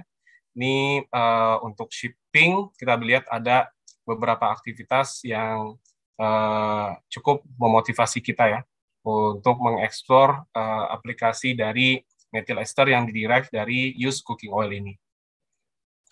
Kemudian um, di Pertamina sendiri kami tentunya sangat senang jika kita bisa uh, membuat portofolio baru ya dari uh, waste ini ya karena ini akan memperbaiki uh, apa uh, ESG uh, atau uh, ini adalah uh, portofolio green baru ya uh, di Pertamina. Tentunya ada beberapa tantangan uh, dimulai dari bagaimana kita mengumpulkan uh, bahan bakunya ya. Jadi kami ada bekerja sama uh, untuk uh, gimana sih cara mengumpulkannya begitu ya. Apakah itu dari pemain besar atau dari uh, rumah tangga dan seterusnya. Ini tentu uh, satu kajian sendiri yang bisa kita diskusikan bersama. Kemudian tentunya di biodiesel sendiri Pertamina punya komitmen uh, yang setinggi-tingginya ya untuk menjalankan program pemerintah. Ini sudah ada uh, kerjasama dengan sekian banyak uh, perusahaan biodiesel dan juga uh, B30 sudah di launching oleh uh, Pak Presiden di tahun 2019 ya. Ini uh, tentunya kunci dari dari apa pengolahan waste menjadi uh, biofuel ini adalah di katalis ya. Jadi ini highlight beberapa aktivitas penelitian uh, termasuk di dalamnya bioaftur, uh, ARDEM ya, hydrodemetallization, uh, pabrik katalis merah putih dan FCC dan seterusnya gitu ya. Jadi kuncinya tentu kemampuan kita untuk membuat uh, katalis yang cocok gitu ya untuk mengolah bahan baku ini. Ini beberapa highlight uh, yang disiapkan oleh tim uh, eh, RTI ya. Ini ada contoh use cooking oil-nya dan di uh, dengan HDO ya, dengan hydroprocessing dan berhasil mendapatkan diesel yang uh, kualitasnya cukup baik gitu ya. Uh, dan juga sudah diuji uh, cobakan. Kemudian um, ada proses-proses lain lagi yang juga kita tetap uh, explore ya, seperti selective hydrocracking dan juga uh, catalytic cracking yang berpotensi untuk menghasilkan produk-produk uh, yang lain ya, termasuk di dalamnya biogasolin yang juga uh, kebutuhannya besar. Ya, ini untuk uh, Yuko. Ya, tadi kita sudah punya fasilitas yang tentunya ini tanggung jawab kita bersama untuk mem apa menyiapkan solusinya ya dan juga membantu teknologinya sudah kita menyiapkan 6.000 barel uh, per day di Cilacap dan 20.000 barel per day di Pelaju ya dan tentunya uh, kontribusi dari eh, rekan-rekan uh, akademisi sangat besar di sini untuk terus bersama-sama kita bisa uh, menyiapkan teknologinya ya untuk uh, HVO, untuk bioaftur uh, dan seterusnya. Kemudian alternatif selanjutnya adalah ke green BTX, ke green aromatics ya. Ini uh, dengan uh, selective packing dimungkinkan uh, kita bisa mendapatkan porsi aromatik yang juga cukup besar ya. Jadi memang kita melihat uh, peran teknologi katalis itu sangat penting dalam uh, mengubah uh, waste ini ya menjadi uh, energi yang siap dipakai uh, sebagai uh, pencampur ya uh, drop in di uh, infrastruktur BBM kita. Nah ini uh, selective hydrocracking uh, kita bisa mendapatkan beberapa macam uh, produk ya. Uh, mungkin karena keterbatasan waktu mungkin kita bisa uh, skip saja. Tapi kami ada bercita-cita tinggi, tentunya kita bersama-sama mengembangkan SAF ini ya, Sustainable Aviation Fuel. Ini uh, sesuatu yang kita harus kejar ya. Mudah-mudahan nanti Indonesia bisa menjadi tuan rumah sendiri untuk Sustainable Aviation Fuel karena sudah banyak kerjasama-kerjasama sekarang di berbagai negara untuk menyiapkan Sustainable Aviation Fuel. Mungkin demikian uh, Pak Tirto, uh, Bu uh, Kanti, Bapak dan Ibu Panitia, dan uh, Bapak Ibu dosen kami yang kami hormati, uh, penggiat dan praktisi teknik kimia, dan juga hadirin yang kami cintai. Uh, demikian highlight dari kami. Uh, Bilahi taufiq wal hidayah. Assalamualaikum warahmatullahi wabarakatuh. Baik, Pak Oki, terima kasih banyak. Waktunya lebih kurang pas ya, begitu. Terima kasih ya sudah memberikan tambahan kita tentang apa saja produk-produk fuel yang dapatkan dari uh, apa use cooking oil begitu. Terima kasih Pak Oki. Uh, baik, saya kira uh, untuk menghemat waktu juga uh, saya persilakan Pak Profesor Arif dari UGM. Uh, monggo bisa presentasi waktu dan tempat uh, kami persilakan. Oke, terima kasih Pak Terima Tirto, kasih, Pak moderator kita Ya. pada sore hari ini. Selamat sore, Bapak-Bapak, Ibu-Ibu, peserta webinar. Assalamualaikum warahmatullahi wabarakatuh. Ya. Waalaikumsalam warahmatullahi Mohon izin untuk share screen ya, saya. Monggo Pak, silakan. Oke. Jogja hujan nggak Pak? Ya betul ini. Jadi mohon maaf kalau suaranya terganggu ya. Ini kebetulan di Jogja hujan deras ini, Bapak-Bapak Ibu sekalian. Tapi mudah-mudahan nggak terganggu lah suaranya, nggih. Nggih. Bagus Jadi, Pak, loud eh, and clear Pak. Ya, sudah kelihatan ya. Jadi yang terhormat eh, semua yang hadir pada webinar kali ini, saya lihat banyak sekali ini para senior-senior, Pak Tatang, Pak Ong, eh, Pak Song nih, maaf Pak Song, kemudian Bapak-bapak Ibu yang lain juga para penggiat energi nih. Terima kasih Bu Tanti, kami sudah diberi kesempatan untuk menyampaikan ini. Jadi eh, mohon maaf apa yang kami sampaikan nanti ini hanya melengkapi dari apa yang disampaikan oleh Pak Hakun. Kemudian juga sedikit bagian dari apa yang disampaikan oleh Pak Oki karena Pak Oki sudah cerita banyak terkait dengan dari cooking oil itu mau jadi apa gitu. ya. Nah, izinkan saya melengkapi apa yang disampaikan Pak Hakun yaitu potensi pengembangan biodiesel dari jelantah begitu saja. Kemudian juga kami sedikit cerita ya bagaimana eh, apa yang sudah dilakukan para peneliti biodiesel ini khususnya yang dari UGM gitu. Saya kira ini saya tinggal saja. Jadi Bapak Ibu sekalian sebagai pendahuluan tentunya sama dengan yang disampaikan Pak Hakun, Pak Oki bahwa memang kita itu sekarang eh, sedang terjadi perebutan antara eh, kebutuhan energi dan kebutuhan pangan gitu ya. Yang kita rasakan sekarang ini kan eh, konon katanya harga minyak goreng naik itu juga karena porsi untuk biodiesel juga gitu ya. Makanya kita harus mencoba mencari alternatif lain dari biodiesel yaitu eh, minyak jelantah lah begitu. Ya, sekalian saya kira tadi solusinya adalah kita Pak Hakun juga sudah menyampaikan minyak jelantah dirubah menjadi biodiesel kemudian dipakai sebagai transportasi. Eh, Saya kira ini kita tinggal saja kelebihan ini, kemudian teknologi proses juga mungkin saya sedikit menyinggung aja ya Bapak sekalian bahwa bahan baku yang sekarang dipakai untuk produksi biodiesel yang ada di Indonesia ya, itu kan eh, dari minyak sawit dan tadi sudah disampaikan Pak Hakun bahwa ini akan terjadi perebutan dengan kebutuhan pangan lah begitu. Makanya eh, tentunya sungguh sangat tepat kalau kita sekarang bicara mengenai biodiesel dari minyak jelantah karena ini adalah bio- eh, salah satu bahan yang merupakan bio- biodiesel generasi yang kedua, yaitu yang berasal dari minyak jelantah. Alternatif lain saya kira sudah banyak dicoba biodiesel generasi kedua ini, apakah dari minyak jarak, minyak bunga matahari, minyak nyamplung, dan lain-lain. Kemudian Bapak Ibu sekalian, lah ini adalah eh, tadi saya sampaikan mengenai biodiesel generasi yang pertama dan generasi yang kedua. Jadi memang masing-masing untuk biodiesel generasi kedua yang berasal dari minyak non pangan atau minyak yang sifatnya limbah itu ini ada beberapa uh, hal. Jadi kalau misalnya kita bicara minyak jarak gitu ya, itu kan kadar anunya juga cukup tinggi, FFA-nya cukup tinggi gitu.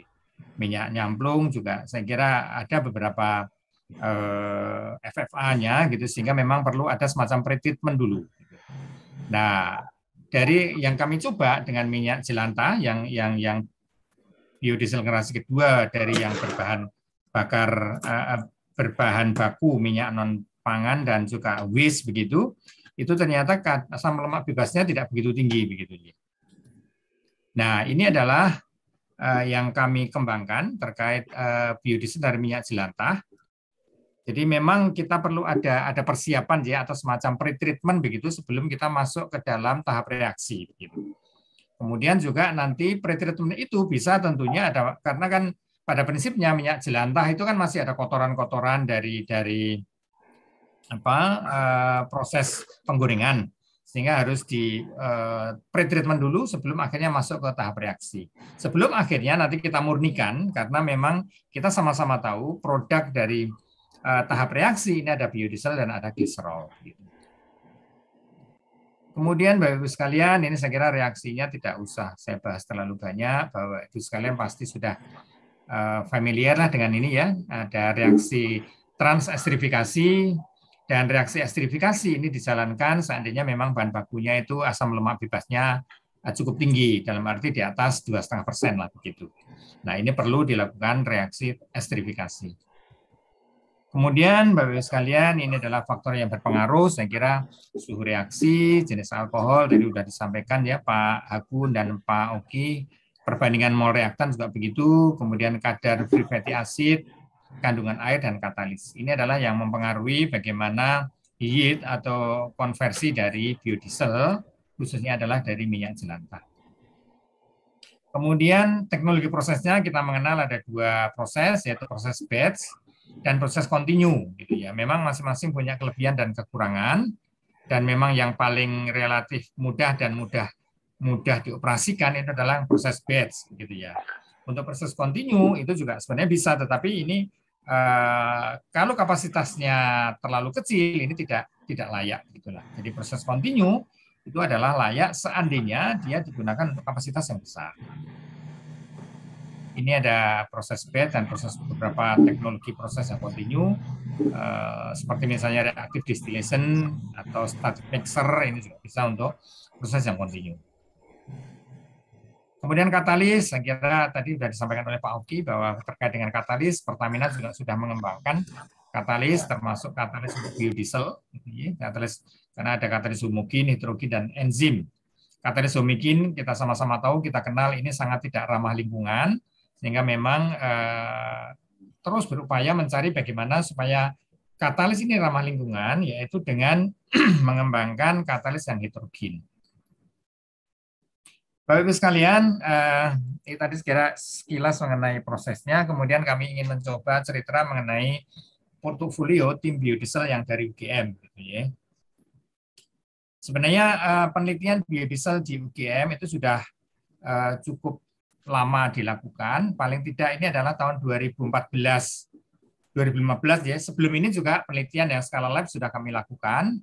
Kemudian ini adalah yang tahun 2014 2015 Eh, kami eh, kerjasama dengan USAID ada proyek yang diberi nama ini Reduction of Greenhouse Gas Emission from Public Basis by Using Biodiesel from Second Use Cooking Oil uh, untuk ini. Jadi jadi pada prinsipnya adalah bagaimana kita membuat suatu sistem supaya uh, jelantah yang kita sama-sama tahu di khususnya ini adalah yang di Yogyakarta ya yang kami pelajari di Yogyakarta itu kan potensi jelantah banyak sekali. Banyak sekali warung-warung kaki lima yang jual pecel lele dan gorengan lainnya, itu kan menghasilkan uh, second use cooking oil. Karena kami berpikir bahwa uh, konon katanya jelantah yang dari eh, rumah makan yang terkenal itu kan mereka punya standar yang ketat gitu ya. Standar yang ketat, kemudian dari standar itu mereka kemudian tidak langsung digunakan untuk kebutuhan misalnya biodiesel, tetapi kadang dijual lagi ke pedagang-pedagang kaki lima. Maka ini, nah dari situ muncul eh, second use cooking oil ini. Ini yang kami coba pelajari begitu eh, untuk dijadikan biodiesel dan dijadikan bahan baku eh, ini biskota yang ada di Yogyakarta. Uji coba sudah kami lakukan, begitu ya, Bapak Ibu sekalian. Eh, ini adalah highlight dari proyek tersebut. Jadi intinya adalah kami membuat eh, sistem bagaimana supply chain-nya begitu ya, supply chain terutama adalah yang dari pedagang kaki lima yang ada di Yogyakarta begitu, kemudian dipakai dikumpulkan, collecting, kemudian dibuat biodiesel, kemudian biodieselnya dipakai untuk bahan baku biskota yang ada di Yogyakarta. Ini adalah pabrik-pabrik kecil yang kami punyai. Jadi ini adalah dua kali 30 liter per batch yang kami punya ini, yang kami gunakan di dalam proyek kerjasama dengan USAID tadi. Nggak ada. Kemudian, nah ini adalah uh, dokumentasi kita Nggak boleh.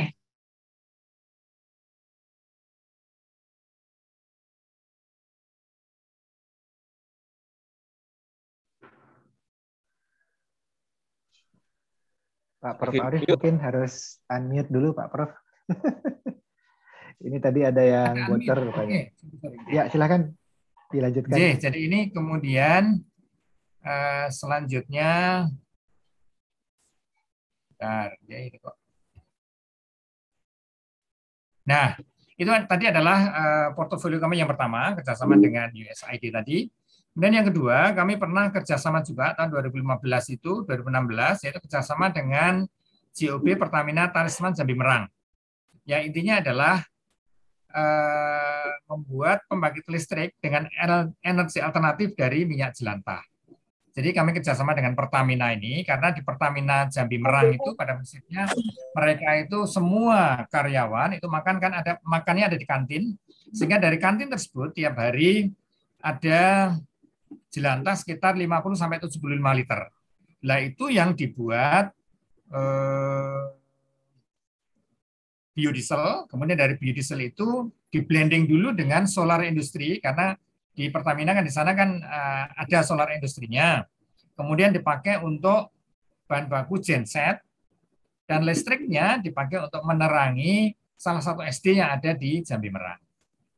Jadi ini adalah alur prosesnya Bapak Ibu sekalian. Jadi intinya adalah tadi seperti yang saya sampaikan ada pre-treatment, jadi dari kantin ini kemudian dikumpulkan, kemudian diproduksi ya biodiesel, kemudian eh, biodiesel ini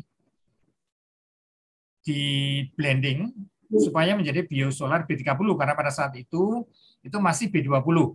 Jadi masih B20 sehingga kami tambahkan menjadi B30 kemudian dipakailah eh, sebagai bahan baku genset dan ini untuk listrik yang dihasilkan kemudian dipakai untuk kebutuhan yang ada di sekolah salah satu sekolah di Jambi Merang ini.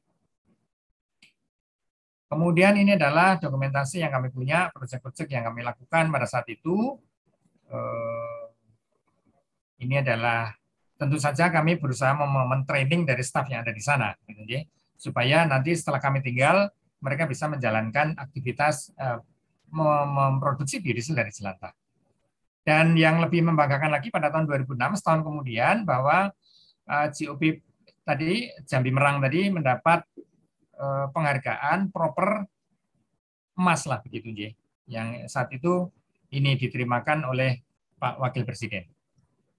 Kemudian yang kedua, yang ketiga kami juga punya kerjasama dengan Pemkot Jambi, tetapi ini hanya sampai kajian potensi produksi biodiesel dari minyak jelantah di Kota Jambi. Jadi kami me- me- mengkaji bagaimana atau potensi biodiesel itu yang ada di Kota Jambi.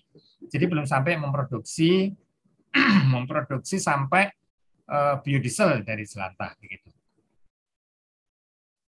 Ini saya kira gambar-gambar aja, Bapak sekalian. Kemudian, nah ini adalah karakteristik minyak jelantah. Tadi sudah disampaikan oleh Pak Hakun kalau saya mungkin ingin menggarisbawahi bahwa minyak jelantah itu mempunyai aspek yang tidak bagus bagi kesehatan lah begitu, seperti yang ada di uh, sisi kanan atas itu. Kemudian Bapak Ibu sekalian, nah ini yang baru saja tahun kemarin eh, kami dari tim biodiesel yang dengan dari UGM ini kerjasama dengan PT Kilang Pertamina Internasional melakukan studi kelayakan pembangunan kilang mini biodiesel dari Selantah, gitu Bapak sekalian. Dan eh, ini adalah skop kajiannya. Skop kajiannya hampir semua kami kaji mulai dari prosesnya, bagaimana dari sisi multiplier efeknya, kemudian dari sisi SDM-nya, dari sisi kebijakan juga sudah kami uh, kaji semuanya dan hasilnya sudah kami sampaikan kepada PT Kilang Pertamina Internasional. Tetapi sebenarnya secara umum yang yang perlu kami garis bawahi adalah uh, terkait dengan harga jelantahnya ya. Nanti mungkin Pak Pak Setiati akan membahas ya bahwa pada prinsipnya pabrik biodiesel dari jelantah skala industri itu akan untung kalau eh, harga jelantahnya itu bisa dikendalikan lah begitu ya. Jadi kira-kira pada kisaran harga 4.000 itu mereka relatif tahan terhadap harga biodiesel. Dan ini kalau tidak bisa seperti itu, ini kami kemarin mencoba menghitung-hitung ya pada kalau pada kisaran harga biodiesel 7.000 itu harga keekonomiannya kira-kira pada angka 9.500. Kemudian kalau harga biodieselnya 8.000 itu harga keekonomiannya sampai pada sekitar 12.000 lah gitu. Nah, kalau harga jelantah sampai 12.000 itu harga keekonomian dari biodiesel itu bisa sampai 17 ribuan gitu lah. Padahal kan mungkin Pak saya yakin Pak Setiadi Gunawan beliau ini kan pemain gitu ya sehingga tahu harga jelantah ini begitu ya. Karena kan kalau saya tidak salah ngambil data mungkin mohon dikoreksi Pak Setiadi bahwa harga jelantah itu kan bervariasi. Di pengepul kecil itu harganya kan 4.000 per kilogram. Kemudian di pengepul-pengepul yang karena kan kalau untuk ekspor itu pengepul yang besar itu harganya kan bisa sampai 12 ribuan. Begitu sekalian sehingga harga yang bervariasi ini ini tentunya akan sangat mempengaruhi kalau misalnya di, di ini pabrik industri biodiesel dari Jelantah. Begitu Bapak sekalian. Jadi sekali lagi bahwa intinya adalah terletak pada harga berapa harga uh, jelantahnya tersebut. Nah, ini terkait bahan baku tadi sudah saya sampaikan generasi pertama, generasi kedua dan generasi ketiga yang ini masih dalam tahap penelitian itu adalah biodiesel yang berasal dari mikroalga. Tapi ini masih sebenarnya langkahnya masih masih agak jauh lah begitu ya dibanding dengan yang dari jelantah begitu. Saya kira eh, ini sebagai gambaran saja ya bahwa ini adalah gambaran optimis begitu kalau kita biodiesel yang dari minyak tadi misalnya CPO ini harganya eh, artinya ada data-datanya ada semua begitu. Jadi pada intinya adalah biodiesel yang generasi ketiga itu adalah yang dari mikroalga itu sebenarnya sangat potensial sekali. Tetapi masih masih banyak sekali eh, kelemahan-kelemahan yang harus harus harus diperbaiki lah begitu. Ini ada beberapa biodiesel yang dari mikroalga dengan kandungan oil kontennya yang ini cukup tinggi begitu. Saya kira itu yang bisa eh, kami sampaikan pada kesempatan kali ini. Mudah-mudahan berkenan bagi Bapak-Ibu sekalian. Waktu saya kembalikan ke moderator. Sekian. Assalamualaikum warahmatullahi wabarakatuh. Uh, Waalaikumsalam warahmatullahi wabarakatuh. Terima kasih Profesor Arif atas paparannya ya yang menerangkan tentang apa namanya bagaimana uh, proses biodiesel uh, apa namanya jelantah itu dibuat dan kemudian juga uh, beberapa portofolio uh, tim UGM ya dalam apa namanya pengembangan uh, biodiesel di Indonesia. Terima kasih banyak Pak Profesor Raif. Baik, uh, kita lanjutkan uh, pembicara berikutnya, pembicara keempat atau narasumber keempat yaitu adalah Pak Setiadi.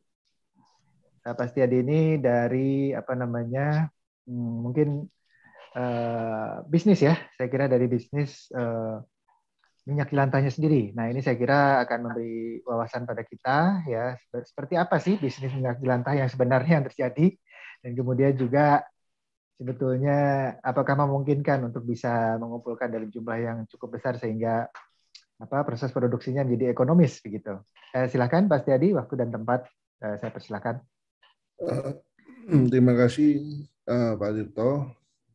Uh, izin untuk share uh, screen ya. Ya, silakan Pak.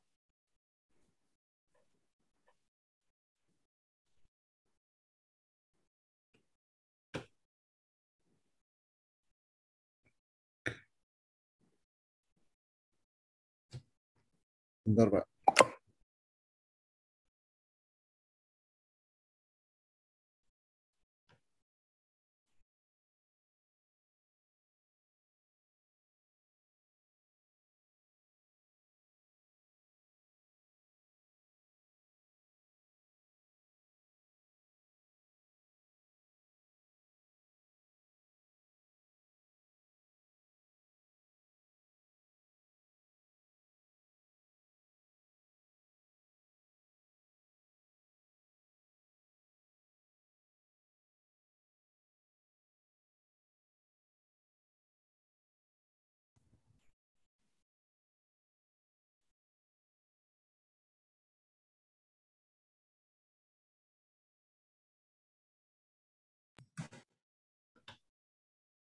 Baik, sudah terlihat Pak Setiati.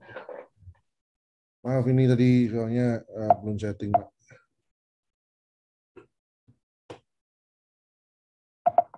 Oke. Uh, perkenalkan nama saya Setiadi Gunawan, Ketua AMG, uh, Asosiasi Eksportir Minyak Jelantah Indonesia.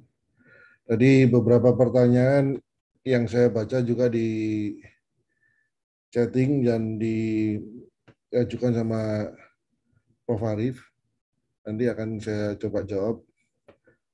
Lalu eh, mungkin Pak Tatang kalau ingat Pak, dulu kita pernah ketemu Pak, bertukar pikiran Pak di waktu itu di Malaysia Pak, mengenai kalau nggak salah biomasa ya Pak. Ya, ya Pak. Udah lupa tapi mudah Bapak masih ingat sudah bagus. Iya Pak. Oke, oke silakan. Jadi eh, ini kita mulai membahas mengenai apa uh, standar minyak goreng di Indonesia, Pak. Jadi standar minyak goreng sawit menurut BPOM uh, tahun eh, nomor 34 tahun 2019 itu tentang kategori pangan.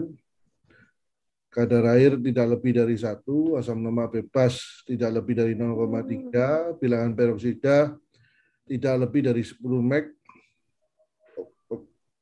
per kilogram, vitamin A total tidak kurang dari 45 IU per gram. Ini berhubungan dengan dobi atau tingkat freshness dari buah. Tapi BPOM tidak mengeluarkan standar pemakaian minyak goreng atau kapan minyak goreng harus dibuang atau sudah tidak eh sudah dianggap tidak layak untuk dikonsumsi. Uh, mungkin kalau uh, ada yang kurang tepat, mohon masukannya mengenai yang standar layak pemakaian minyak gorengnya.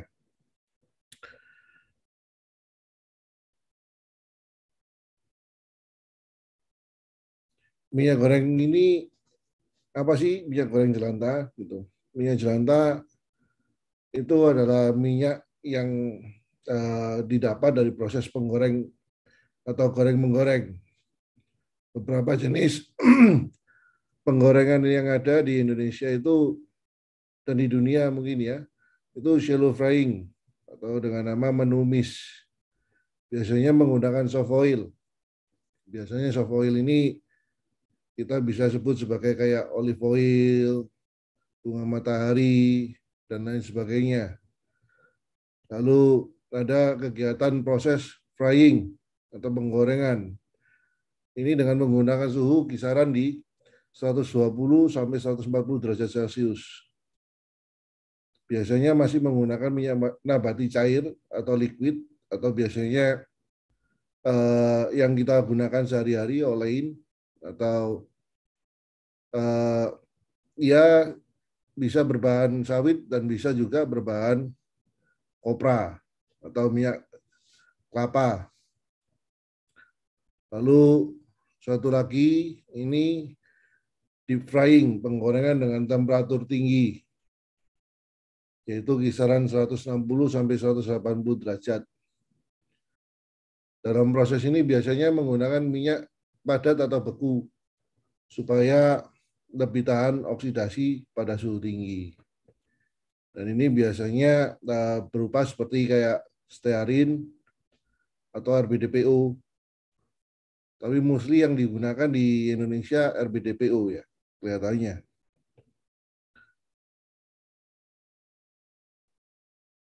Uh, dalam segi proses menumis itu jelantahnya nggak banyak, jadi amat sangat sedikit. Yang paling banyak itu dalam proses frying atau deep frying yang biasanya ibu-ibu rumah tangga itu prosesnya frying, sedangkan kalau di rumah makan rumah makan seperti KFC, McDonald dan lain sebagainya itu deep frying namanya. Ini minyak jelantah berdasarkan jenis minyak. Itu ada beberapa macam ya. Uh, minyak jelantah dari sawit bekas itu biasanya minyak lain X deep frying, shallow, shallow dan frying process, dan minyak RBDPO, X penggorengan, minyak shortening, X proses. Nah ini kadang kadang-kadang shortening ini tidak bisa kita pakai Pak atau tidak bisa kita gunakan karena masih mengandung garam. Dan biasanya kalau diekspor itu NaCl amat sangat pengaruh. Jadi uh, untuk shortening atau margarin kita biasanya tidak beli atau tidak belanja untuk ini. Gitu. Tapi kadang-kadang masih tercampur dalam apa uh, jurigen yang kita terima dari restoran-restoran. Uh, berhubung nilainya atau uh, porsinya amat sangat kecil, kita masih bisa menggunakan. Tapi kalau uh, porsinya mereka besar, itu pasti akan otomatis ditolak dengan pihak pembeli atau bayar kita yang di luar negeri. Lalu minyak bekas kelapa kita masih menggunakan kelapa dan cukup banyak jumlahnya. Lalu minyak bekas soybean dan minyak hewani. Dan ini kadang-kadang hewani ini masih kita pakai seperti penggunaan bakso ya.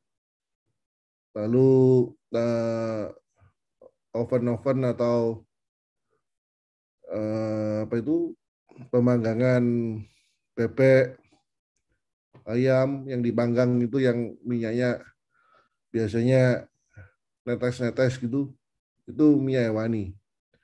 Itu kita bisa pakai dan kita bisa ekspor juga.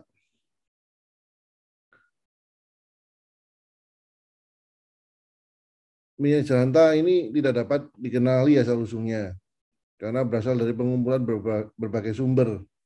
Jadi untuk mengidentifikasi apakah ini minyak sawit atau minyak kelapa atau minyak soybean itu susah karena mereka sudah tercampur. Jadi kita menyebutnya sebagai minyak jelantah aja atau ya nabati organik.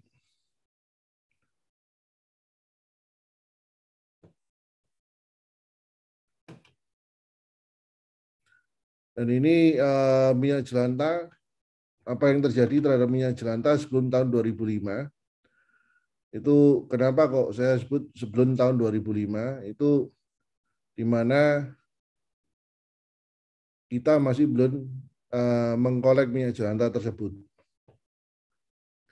Jadi minyak jelantah sebelum tahun 2005 itu masih dipakai berulang kali sampai habis. Lalu dipakai untuk campuran membuat sambal. Seperti gambar-gambar ini, Pak. Jadi ada yang dibuang ke selokan sewaktu dicuci, atau dibuang ke tempat pembuangan sampah, atau dibuang ke tanah. Dan ini yang eh, mengakibatkan kerusakan lingkungan. Kalau dicampur dengan sambal, ini mengakibatkan ya karsiogenik Pak ya, sama juga dengan pemakaian berulang kali sampai habis. Lalu ada sebagian yang dicuci atau dibutikan kembali oleh industri lalu dijual ke pasar-pasar sebagai curah. Ini makanya eh, kenapa kemarin Kimi juga eh, berteriak-teriak mengenai minyak goreng curah. Harusnya eh, menurut mereka minyak goreng curah ini harusnya tidak boleh dijual gitu. Harus dalam bentuk packaging. Namun mungkin karena permasalahan packaging ini mahal, masyarakat kita juga belum siap, maka kita masih uh, menggunakan curah di pasaran. Lalu selanjutnya dipakai untuk campuran pakan ternak, Pak. Sebagai campuran minyak ikan dan minyak segar. Ini tahun 2005 ya. Jadi volume cukup banyak nih untuk yang dicampurkan sebagai bahan ternak. Jadi seharusnya uh, ya kalau selayaknya nggak diperbolehkan. Nanti kita bahas lagi nanti mengapa nggak diperbolehkannya.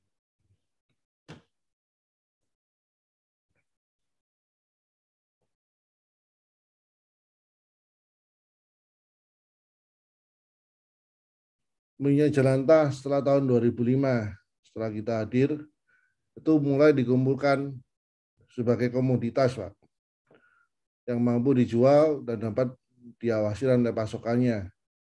Ini kenapa kok kita bilang bisa diawasi rantai pasokannya? Karena untuk ekspor kita itu harus memiliki sertifikasi ASCC atau yang biasanya kita sebut sebagai International Sustainable uh, saya lupa itu S-nya apa yang berikutnya, tapi yang di belakangnya karbon, SEC. Dan ini uh, pelopor penggunaan minyak jelantah untuk biodiesel itu Ultra Metro Oil, Pak. Perusahaan saya sendiri itu kita mulai produksi biodiesel tahun 2005. Nah, itu kita uh, coba juga masukkan ke Pertamina, tapi dalam uh, apa itu uh, uji labnya selalu tidak berhasil karena beberapa poin yang selalu gagal. Ya mungkin karena minyak jelantah ini bermacam-macam dan mutunya nggak bisa stabil. Makanya kita tidak bisa masuk ke Pertamina. Dan ini eh, bukan sekali dua kali kita coba uji lab, sampai udah enam kali Pak untuk uji labnya. Dan itu biayanya cukup mahal sekali uji lab. Lalu eh, karena kita nggak bisa menjual ke Pertamina, kita akhirnya menjual ke industri. Di industri kita masuk sampai ke pabrik gula, lalu genset untuk PLN di Kalimantan, dan masih banyak lagi. Untuk pabrik gula digunakan untuk kereta, Pak. Kereta pengangkut uh, tebu ya. Lalu pada tahun 2006 itu awal mula jelantah diekspor Pak pertama kali oleh Indonesia. Tujuannya ke Taiwan dan Korea. Tapi mereka mereekspor lagi ke Uni Eropa. Dan tahun 2006-2007 Uni Eropa mulai merambah Asia melakukan sourcing sendiri ke negara-negara Asia, termasuk ke Indonesia.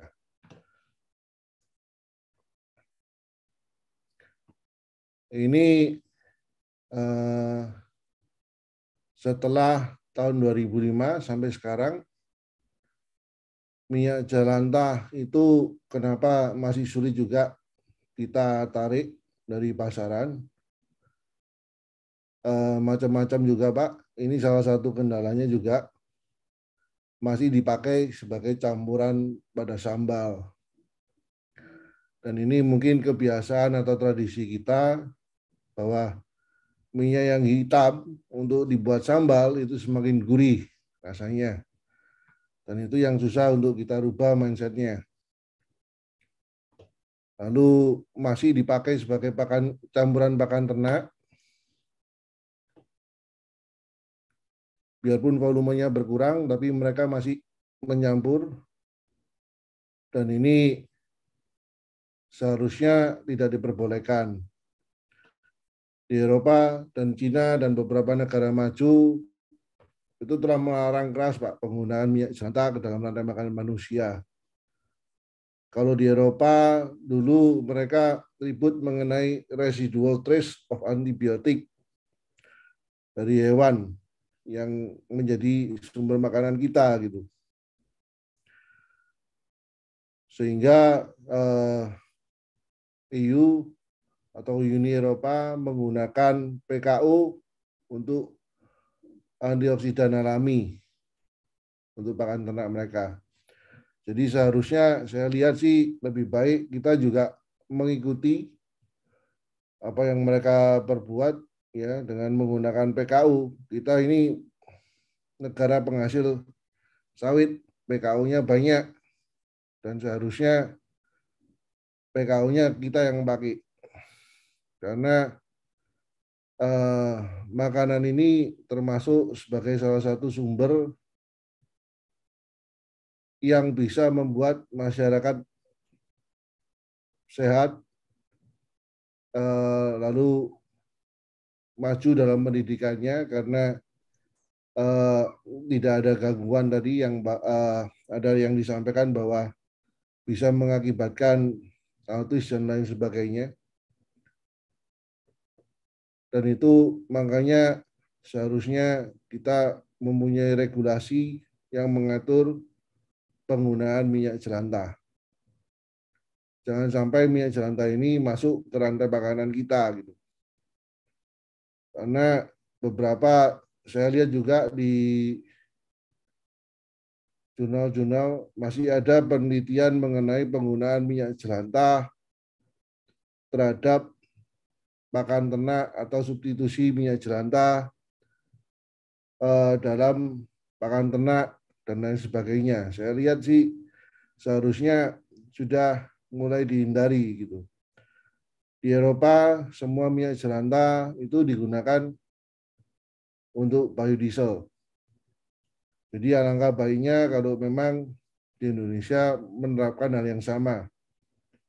Bahwa jangan sampai uh, manusia itu memakan ya hewan ternak yang sudah terkena karsiogenik gitu. Nanti kita nggak mengerti itu apa yang kita makan. Jangan sampai kanker nanti kita pikir daging gitu. Jadi bahaya nanti. Lalu masih kita temukan itu pemakaian berulang dengan menggunakan media saring oleh industri. Ini masih kita temukan, Pak, Bu, sekalian, untuk mengurangi kos produksi. Dan ini eh, terjadi di beberapa eh, perusahaan. Saya nggak tahu itu apakah diperbolehkan, apa memang dilarang seharusnya. Tapi menurut uh, mereka uh, apa yang mereka lakukan itu memenuhi standar BPOM. Ya mungkin kalau bisa BPOM lebih berketat lagi, apakah memang diperbolehkan itu untuk disaring kembali lalu digunakan lagi untuk menghemat kos produksi. Jadi eh, pemain-pemain yang nyaring-nyaring ini bukan masyarakat kecil, Pak. Seharusnya malah perusahaan-perusahaan besar. Gitu.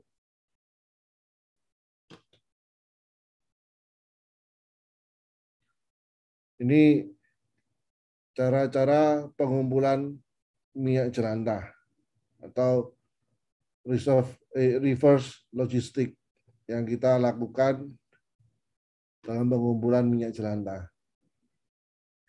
Ini di asosiasi kita, Pak, itu terdiri dari dua macam yang bisa kita uh, pisahkan dari cara mereka mendapatkan minyaknya. Satu, itu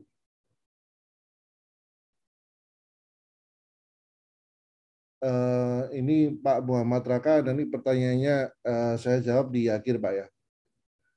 Uh, dependent collecting point atau pengepul. Ini sistemnya uh, nanti akan ada uh, denanya di halaman berikutnya. Ini mendapatkan minyak jelantah dari pengepul, pengepul atau bank sampah. Baik dilakukan secara swadaya atau bantuan dari pemerintah setempat. Ini pemerintah setempat kadang-kadang membantu, Pak. Dengan menunjuk atau mengumumkan atau memberi tahu bahwa bank sampah, uh, kepada bank sampah bank sampah mereka bahwa uh, ini sekarang ada kolektor atau eksportir yang bisa membeli minyak jelantah. Jadi bank sampah ini dulunya hanya mengkolek sampah plastik atau sampah yang lain. Sekarang mereka mengkolek minyak jelantah juga. Jadi pendapatan sampingan bagi bank sampah-bank sampah. Dan pengepul-pengepul yang kita gunakan ini kebanyakan juga non-educated people, Pak. Jadi banyak Pak, ya kisaran dari UMKM pengepul-pengepul kita ini di kisaran sekitar 20 ribu. Jadi yang tergabung dengan kita sampai 20 ribu uh, ini apa boleh langsung menjawab pertanyaan atau gimana ini Pak? Soalnya waktunya terbatas gitu. Uh, nanti Pak, uh, nanti ada penanggap dulu, baru kemudian uh, ada sesi tanya jawab gitu Pak. Oke, terima kasih. Ya, terima kasih. Point of origin.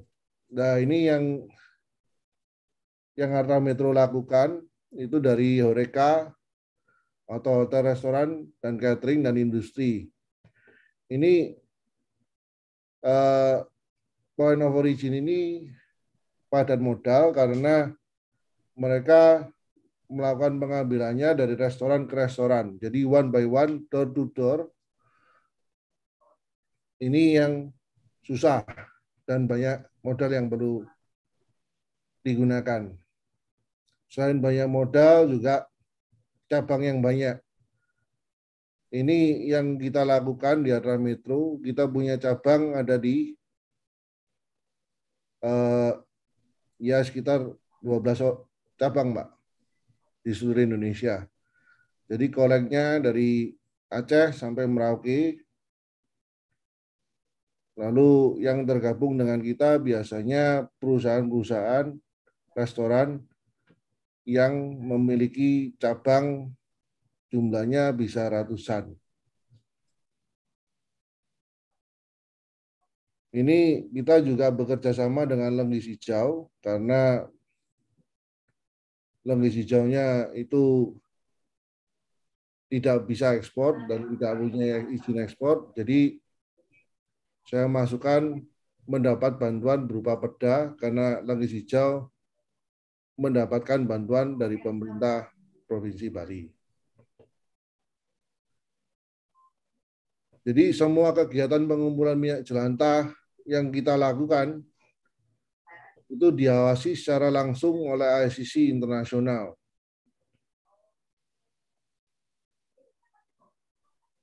Perusahaan yang ingin memasuk eh, atau menjual atau mau mengekspor minyak jelantahnya ke internasional itu harus memiliki atau harus terakreditasi oleh ICC untuk tax insentif bagi industri biodiesel di Uni Eropa. eh, ASCC ini amat sangat ketat. Biasanya yang seperti tahun-tahun sebelumnya, jika kita punya point of origin itu 2000, itu 1000 restorannya akan diteleponin one by one oleh mereka. Jadi amat sangat traceable, bisa dipertanggungjawabkan. Eh, yaitu mereka minta kita bisa ditrace sampai asal muasal dari minyak. Ini ilustrasi tadi yang saya sampaikan. Ini yang tadi dari DCP atau pengumpul. Ini restoran, hotel, catering, industri, ya kan? Ini secara komersil, dilakukan secara komersil. Eh, biasanya pengumpulnya eh, termasuk level pengumpul menengah, gitu. Nah, yang dari rumah ibadah, ibu-ibu PKK, ini pengepul kalangan yang non-educate, Pak. Kebanyakan mereka menggunakan sepeda atau sepeda motor, atau apa pun yang mereka bisa pakai untuk mengangkut minyak di dalam jurigen. Ini kadang-kadang kita masih bisa ngelihat nih di Jakarta, kemarin saya jalan-jalan di SCBD, ada eh, bapak-bapak tua yang bawa sepeda dan mengangkut jurigen berisikan minyak jelantah. Dan itu salah satu uh, pengepul kita yang kalangan kecil, Pak. Jadi itu tadi yang dilakukan untuk yang DCP sama juga dengan yang punya Arra Metro yang direct collection tanpa melewati pengepul dari restoran, hotel, catering, industri ini direct. Kenapa kok kita direct? Kita mau menghindari uh, terjadinya sesuatu yang aneh-aneh. Ya, soalnya kadang-kadang pengepul ini kalau kolek itu masih di dalam dimasukkan di dalam drum. Nah, kalau di dalam drum ini biasanya sulfuriknya akan naik atau tinggi. Biasanya masih tercampur dengan solar atau karena drumnya tidak dibersihkan dengan bersih ya kan? Lalu dituangin dengan minyak jelantah. Minyak jelantahnya tadi akan tercampur dengan solar. Jadi akan mengakibatkan sulfurnya ppm nah, jadi kita untuk ekspor itu Pak ada batasannya dengan sulfur itu maksimal di 30 ppm part per million sampai 50 ppm. Jadi begitu dirubah jadi biodiesel, ppm uh, sulfurnya mereka akan tekan untuk menjadi nol. Ya mungkin kalau nol nggak mungkin ya 0,0 berapa gitu. Eh, Pak Setiadi mungkin dua menit lagi atau sudah selesai Pak? Belum? Ya, belum Pak. Dua ini menit masih lagi. sama, ya kan pengepul dari bank sampah sama. Lalu ini anggota kita yang tergabung dalam asosiasi AMJI. Dari 13 anggota ini eh, kita menguasai 90% ekspor minyak jelantah nasional, Pak. Ini minyak jelantah sebelum ada kita dan setelah ada kita karena ada kita menjadi circular economy. Kita recycle eh, sampah-sampah yang kita buat. Ini yang terbantukan oleh hadirnya ekspor minyak jelantah membuka lapangan pekerjaan bagi sektor non-educated people untuk berjuang hidup di era yang sulit sekarang ini. Eh, anggota pengepul kita ini sampai puluhan ribu, Pak. Baik eh, individual maupun UK, UMKM. UMKM ini restoran atau catering dan lain sebagainya, hotel dan juga lain sebagainya. Lalu kita menyelamatkan lingkungan dari pencemaran air, greenhouse gas dan carbon credit, mendapatkan carbon credit harusnya, memperbaiki kesehatan masyarakat dengan menghindarkan penggunaan minyak secara berulang atau sampai habis. Banyak juga tempat ibadah, rumah yatim, ibu-ibu rumah tangga yang terbantukan keperluan dananya oleh kita. Soalnya eh, kenapa kita sebutkan rumah yatim Pak di sini?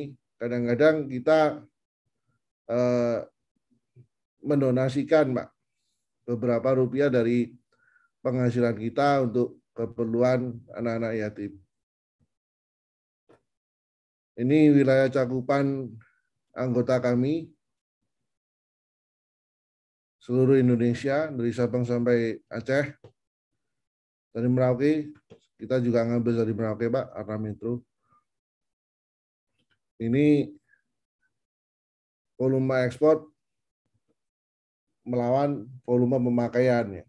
Jadi menurut data Kementerian Perindustrian dan Kementerian Perdagangan, konsumsi minyak jelantah, eh, minyak sawit nasional kita mencapai 8,31 juta kiloliter. Rata-rata minyak jelantah yang dihasilkan, ini menurut riset kita Pak, dari 15 tahun, itu biasanya penggunaannya akan menghasilkan sisa sekitar 30-40 persen dari minyak baru. Jadi dari ini kita kalikan 30 persen, kira-kira segini Pak. Lalu ini yang bisa kita kumpulkan Pak, masih jauh dari idahnya, kita masih di 7 sampai 8 persen. Dan ini yang menjadi pertanyaan kita ke mana sisanya gitu. Nah ini untuk ekspor dan pengumpulan minyak jelantah perlu diatur. Kenapa? Pengumpul kita memang sudah coba untuk mengatur Pak, ya kan, dengan cara pengumpul itu harus berizin. Lalu mereka ini pengusaha kecil yang perlu dibina dan diarahkan. Bukan dimatikan karena banyak membuka lapangan pekerjaan bagi non-educated people, Pak. Ini perusahaan pengepul jelantah. Ini seharusnya tidak boleh memiliki afiliasi dengan perusahaan pengolahan minyak goreng baru, baik itu grup maupun anak usaha dan lain sebagainya. Karena potensi dijadikan dan dijual sebagai curah. Pengumpul jelantah adalah UMKM yang perlu dilindungi pemerintah. Karena melibatkan masyarakat kecil dalam jumlah yang sangat signifikan, lebih dari 20 ribu UMKM dan perorangan yang terlibat. Dan selayaknya mereka mendapatkan insentif dari pemerintah, bukan malah seharusnya membayar levy ataupun dilarang ekspor. Ekspor itu jelantah perlu diatur oleh pemerintah. Kita setuju karena uh, dengan tidak ada peraturan dalam ekspor itu bisa memungkinkan CPU ini dicampur dengan jelantah untuk uh, apa itu mengkaburkan HS code yang mana AS Code CPO seharusnya membayar levy di harga 375 US dollar per metric ton dikaburkan menjadi AS Code Yuko dengan levy cuma 35 US dollar per metric ton. Dan ini eh, perlu amat sangat dibantu untuk pengawasannya oleh pemerintah. Kalau kita sendiri tanpa ada regulasi akan sulit tercapai untuk uh, membia, uh, membuat itu semua berhasil, perlu adanya sistem audit seperti ICC, namun milik Indonesia, Pak. Agar minyak jelantah yang dikumpulkan bisa ditrace jumlahnya dan asalnya, maupun dijual ke mana dalam jumlah berapa. Ini agar pemerintah bisa merumuskan kebijaksanaan ke depannya. Ini negara penghasil minyak di Asia. India ini eh, kelihatannya mereka tidak ada yang keluar karena digunakan dalam industri mereka sendiri. Ini Indonesia yang kita lakukan, Mak. Nomor satu tetap China, soalnya jumlah penduduknya mereka amat sangat besar. Ini Malaysia, Pak. Kita masih jauh dari Malaysia. Ini data solid dari Argus Media, Pak. Desember tahun 2021. Jadi ini masih banyak peluang ini bagi eh, teman-teman sekalian yang bingung mau kerja apa. Ini masih terbuka lebar macam-macam feedstock yang digunakan untuk produksi HVO. Ini kita listkan eh, minyak-minyak yang murah. Soalnya untuk produksi eh, semua produksi itu akan mencari feedstock yang paling murah. Jadi ini bisa masukkan untuk ke Pertamina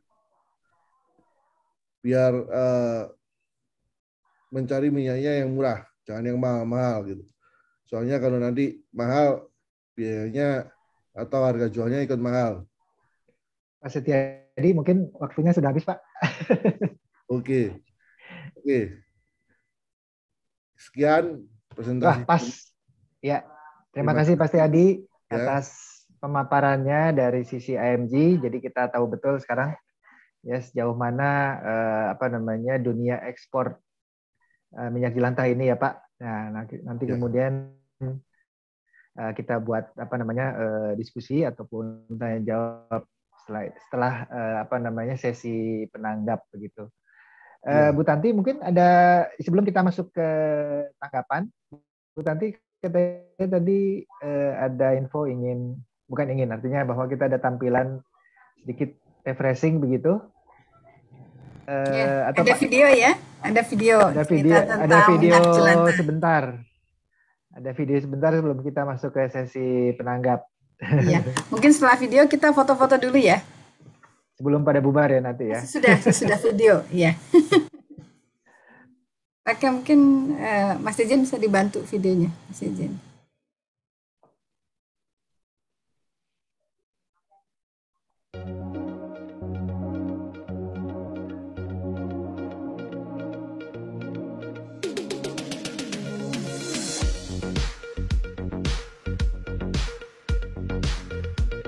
Sahabat Kompas.com, pesawat Airbus A380 sukses menyelesaikan penerbangan uji coba bertenaga minyak goreng. Airbus A380 berhasil terbang selama 3 jam dari Bandara Blagnac di Toulouse, markas besar Airbus di Prancis pada 25 Maret 2022. Pesawat ini didukung oleh bahan bakar penerbangan berkelanjutan atau Sustainable Aviation Fuel atau SAF yang sebagian besar terbuat dari minyak goreng bekas dan lemak buangan. Pesawat tersebut beroperasi dengan satu mesin Rolls-Royce Trent 900. Airbus kemudian melanjutkannya dengan penerbangan A380 kedua menggunakan bahan bakar minyak goreng yang sama pada 29 Maret 2022. Pesawat tersebut terbang dari Toulouse ke Nice. Penerbangan kedua digunakan untuk memantau penggunaan SAF saat lepas landas dan mendarat. Bahan bakar tersebut dipasok oleh Total Energies, perusahaan yang berbasis di wilayah Normandia, Perancis. SAF terbuat dari hidroproses ester dan asam lemak yang bebas dari aromatik dan belerang. Airbus sudah menguji penerbangan bertenaga SAF selama setahun terakhir. Sebelumnya ada pesawat A350 yang diuji pada Maret 2021 dan pesawat lorong tunggal A319 Neo yang terbang dengan bahan bakar minyak goreng pada Oktober 2021. Airbus berharap mendapatkan sertifikasi terbang untuk pesawat dengan SAF pada akhir dekade ini. Sekarang, pesawat Airbus dapat ditenagai dengan 50% SAF dan dicampur dengan minyak tanah tradisional.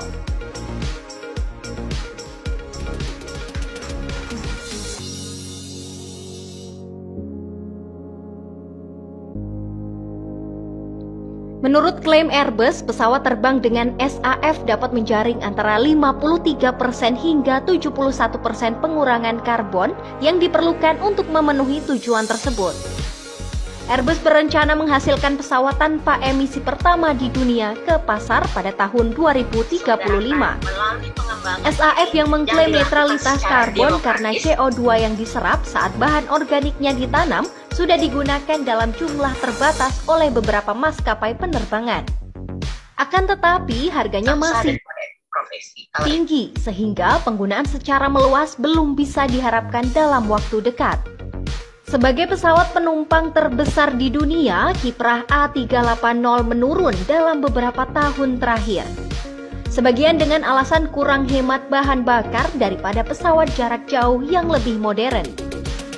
Airbus mengirimkan A380 terakhirnya ke maskapai Dubai Emirates pada akhir tahun 2021 Baru-baru ini Airbus mengumumkan bahwa pesawat raksasa itu akan dioperasikan untuk menguji mesin bertenaga hidrogen eksperimental inovasi lain yang bertujuan membuat penerbangan tidak terlalu berbahaya bagi lingkungan.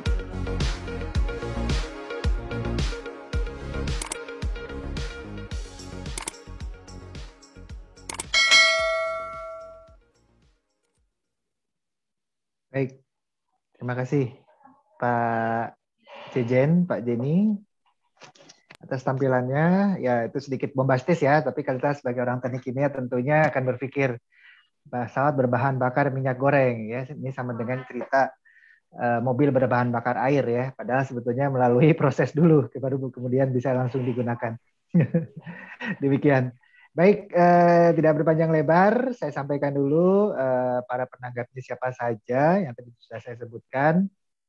Eh, pertama adalah eh, Pak Dr. Insinyur Tatang Herna Surawijaya. Beliau adalah apa namanya eh, Ketua Ikatan Ahli Bioenergi Indonesia yang juga eh, uh, masih mengajar ya di Teknik Kimia dan Teknik Bioenergi Kemurgi di Institut Teknologi Bandung dan kemudian Kemudian uh, dengan profesional experience-nya begitu banyak karena beliau sudah sangat senior, ya. Demikian terima kasih Pak Tetang atas kesanggupannya untuk uh, dapat hadir. Kemudian berikutnya adalah Pak Paulus Cakrawan, ya beliau adalah uh, Ketua Aprobi, Ketua Harian Aprobi kalau tidak salah, mohon maaf kalau salah Pak Paulus.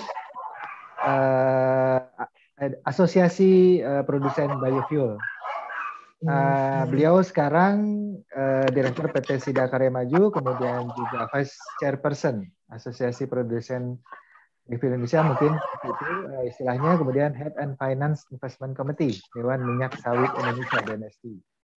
Uh, dulu beliau uh, namanya lulus dari Faculty of Technology Elektronik Trisakti University.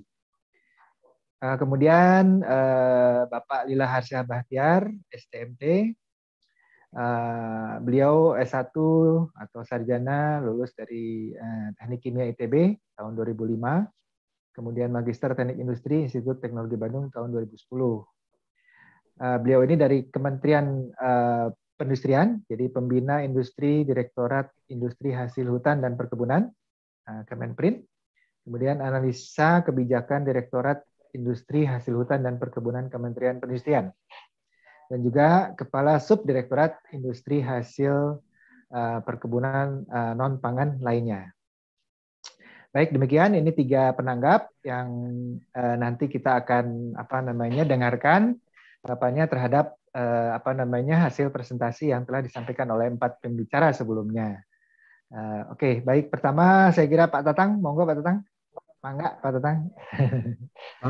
saya mau share satu slide ya. Mangga, mangga, mangga Pak. Sudah bisa Pak, Oke. silakan. Pak katanya mau foto-foto dulu tadi Bu Tanti. Oh iya ya, tapi ya sudah. Atau gimana Bu Tanti? Saya maaf terlewat ini. Mungkin habis ini ya Bu Tanti ya? Ya, habis Pak Tatang boleh kita foto-foto. Ini waktu Bentar ya.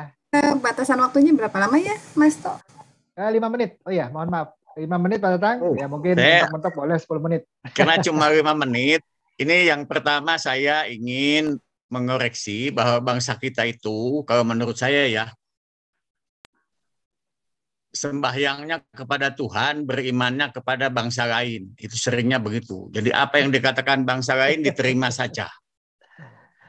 Ini saya tunjukkan satu slide yang saya pakai untuk kuliah di ITB yang mengatakan bahwa minyak goreng terbaik itu adalah minyak sawit dan minyak kelapa.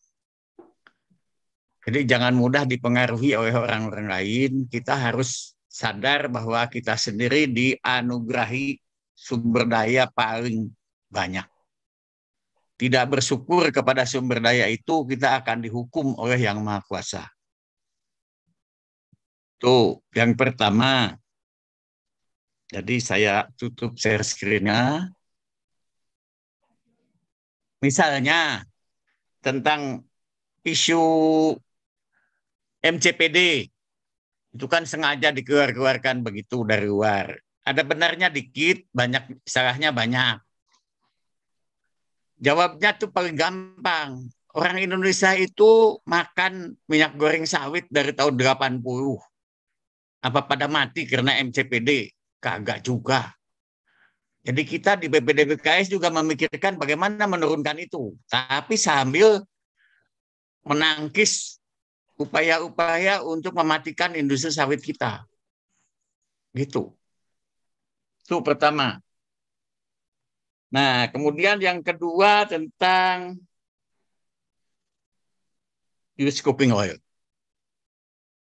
Minyak jelantah dari berbagai di Indonesia dan di Eropa pasti beda.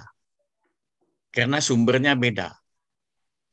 Nah, minyak jelantah di kita itu sebenarnya yang paling stabil minyak kelapa, minyak eh, sawit, minyak inti sawit itu paling stabil. Ya, cuman karena stabil itu kita pakainya berulang-ulang sampai hitam. Dan itu saya kira Pak Setiadi yang membuat Pertamina tidak suka menerima minyak jelantah. Karena Pertamina tidak tidak mau katanya kalau biodiesel warnanya gelap. Kemudian saya melihat begini, jadi eh, tahun 2014, 2013 atau 2014 saya dan teman-teman di uh, Biodiesel Group ASEAN, ASEAN plus Jepang plus India pernah berkunjung ke suatu pabrik biodiesel berbahan baku minyak jelantah di Korea. Di Korea. Dan mereka bilang bahan mentahnya itu dari Indonesia, minyak jelantahnya Indonesia. Mungkin waktu itu juga pasti Adi dan kawan-kawan tuh datangnya. Ya, dan mereka mereka mau beli minyak jelantah itu lebih tinggi daripada kita mampu beli.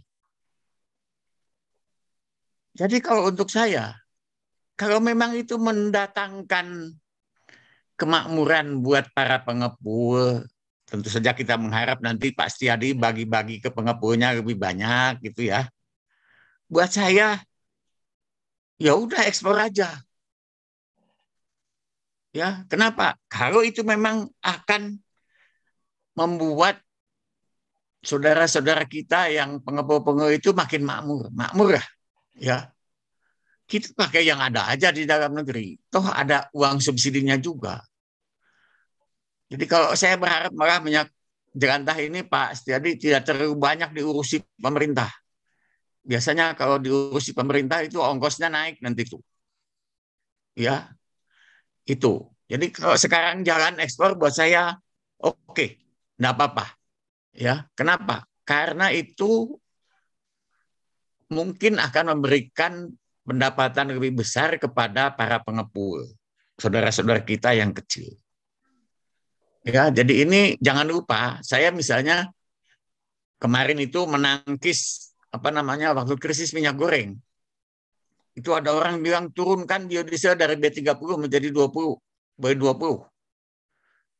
Saya bilang kalau biodiesel diturunkan jadi B30 menjadi B20, itu impor solar akan naik. Kalau impor solar naik, solar itu disubsidi juga. Nah, subsidinya lari ke mana kalau solar impor solar naik? Ke pengusaha Singapura. Saya bilang Anda mau duit subsidi itu lari ke pengusaha Indonesia, betapapun Anda tidak sukanya ke pengusaha itu, tapi kemudian turun ke pegawai-pegawainya karena perusahaannya mempekerjakan orang Indonesia. Apa Anda mau berikan uang itu ke perusahaan Singapura yang mengerjakan orang Singapura? Mana yang mau dipilih? Akhirnya diem tuh di apa WA grup suara-suara itu. Jadi saya memang lebih memilih kalau memang itu lebih menguntungkan di ekspor, ekspor saja.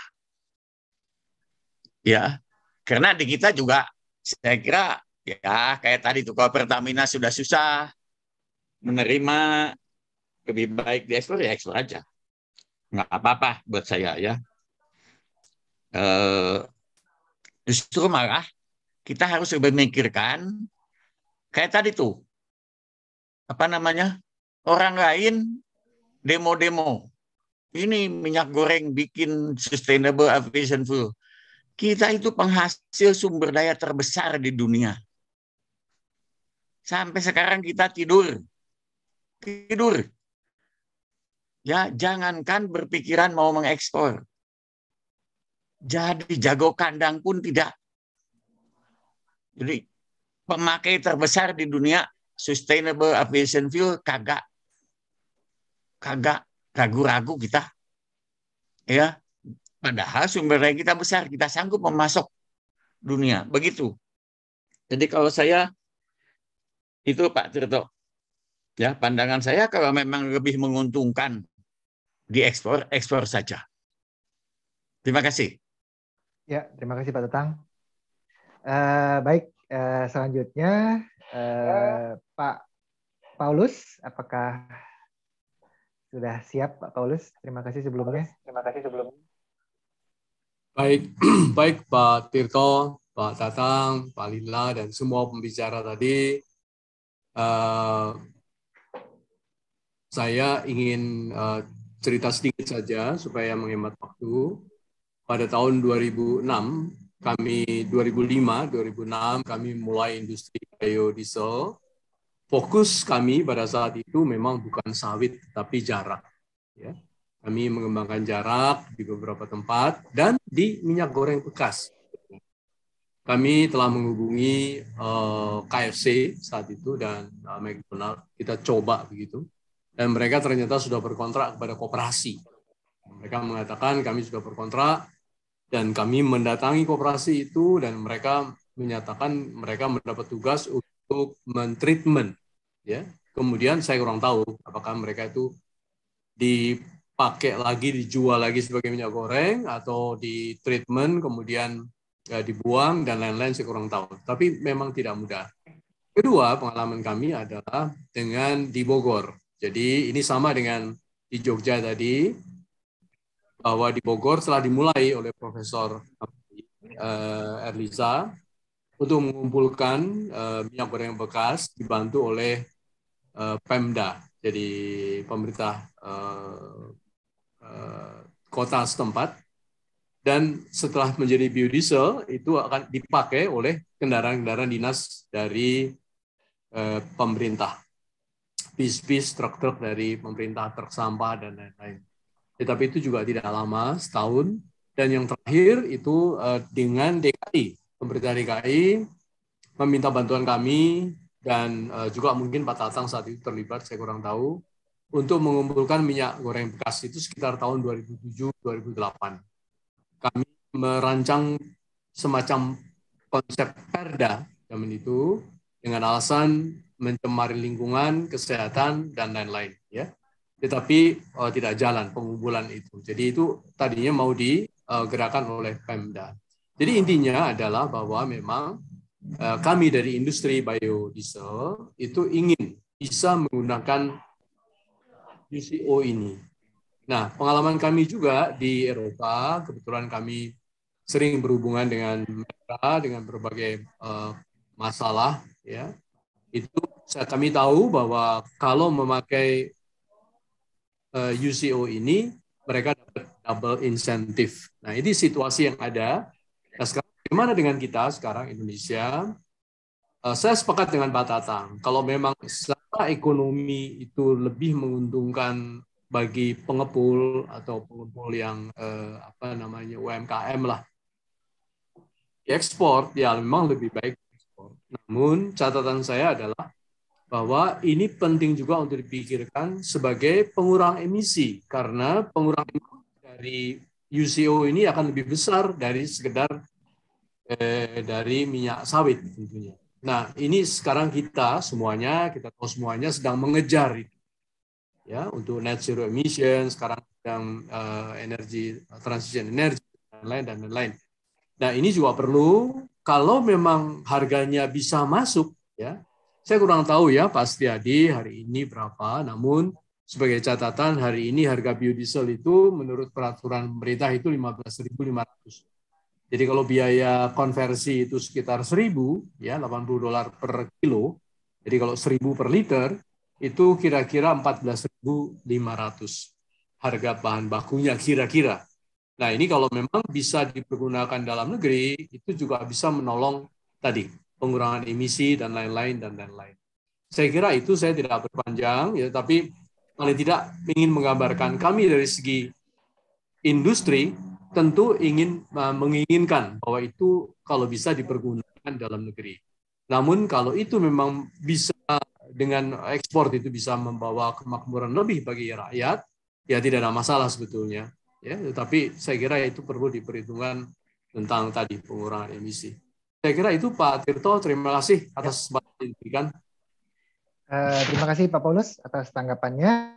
Uh, baik saya kira kita ke Pak Lila Harsyah. Bahtiar silakan Pak Lila. Uh, mohon pendapatnya.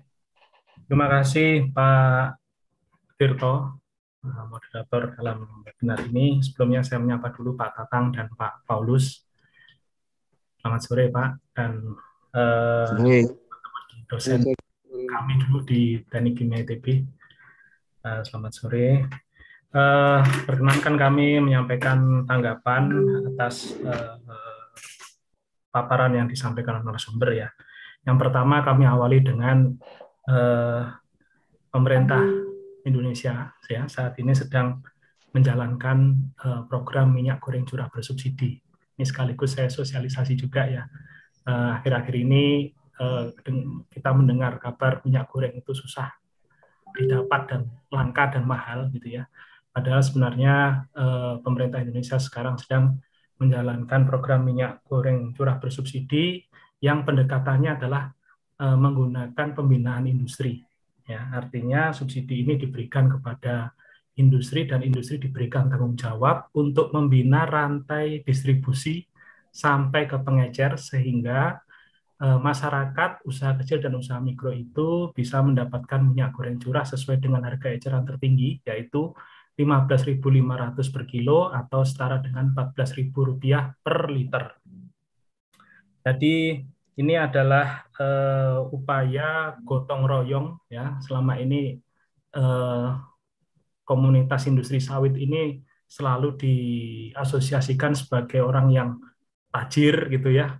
Banyak menikmati fasilitas. Tapi sekarang kita minta mereka untuk bertanggung jawab menyediakan uh, minyak goreng curah sesuai dengan penugasan pemerintah.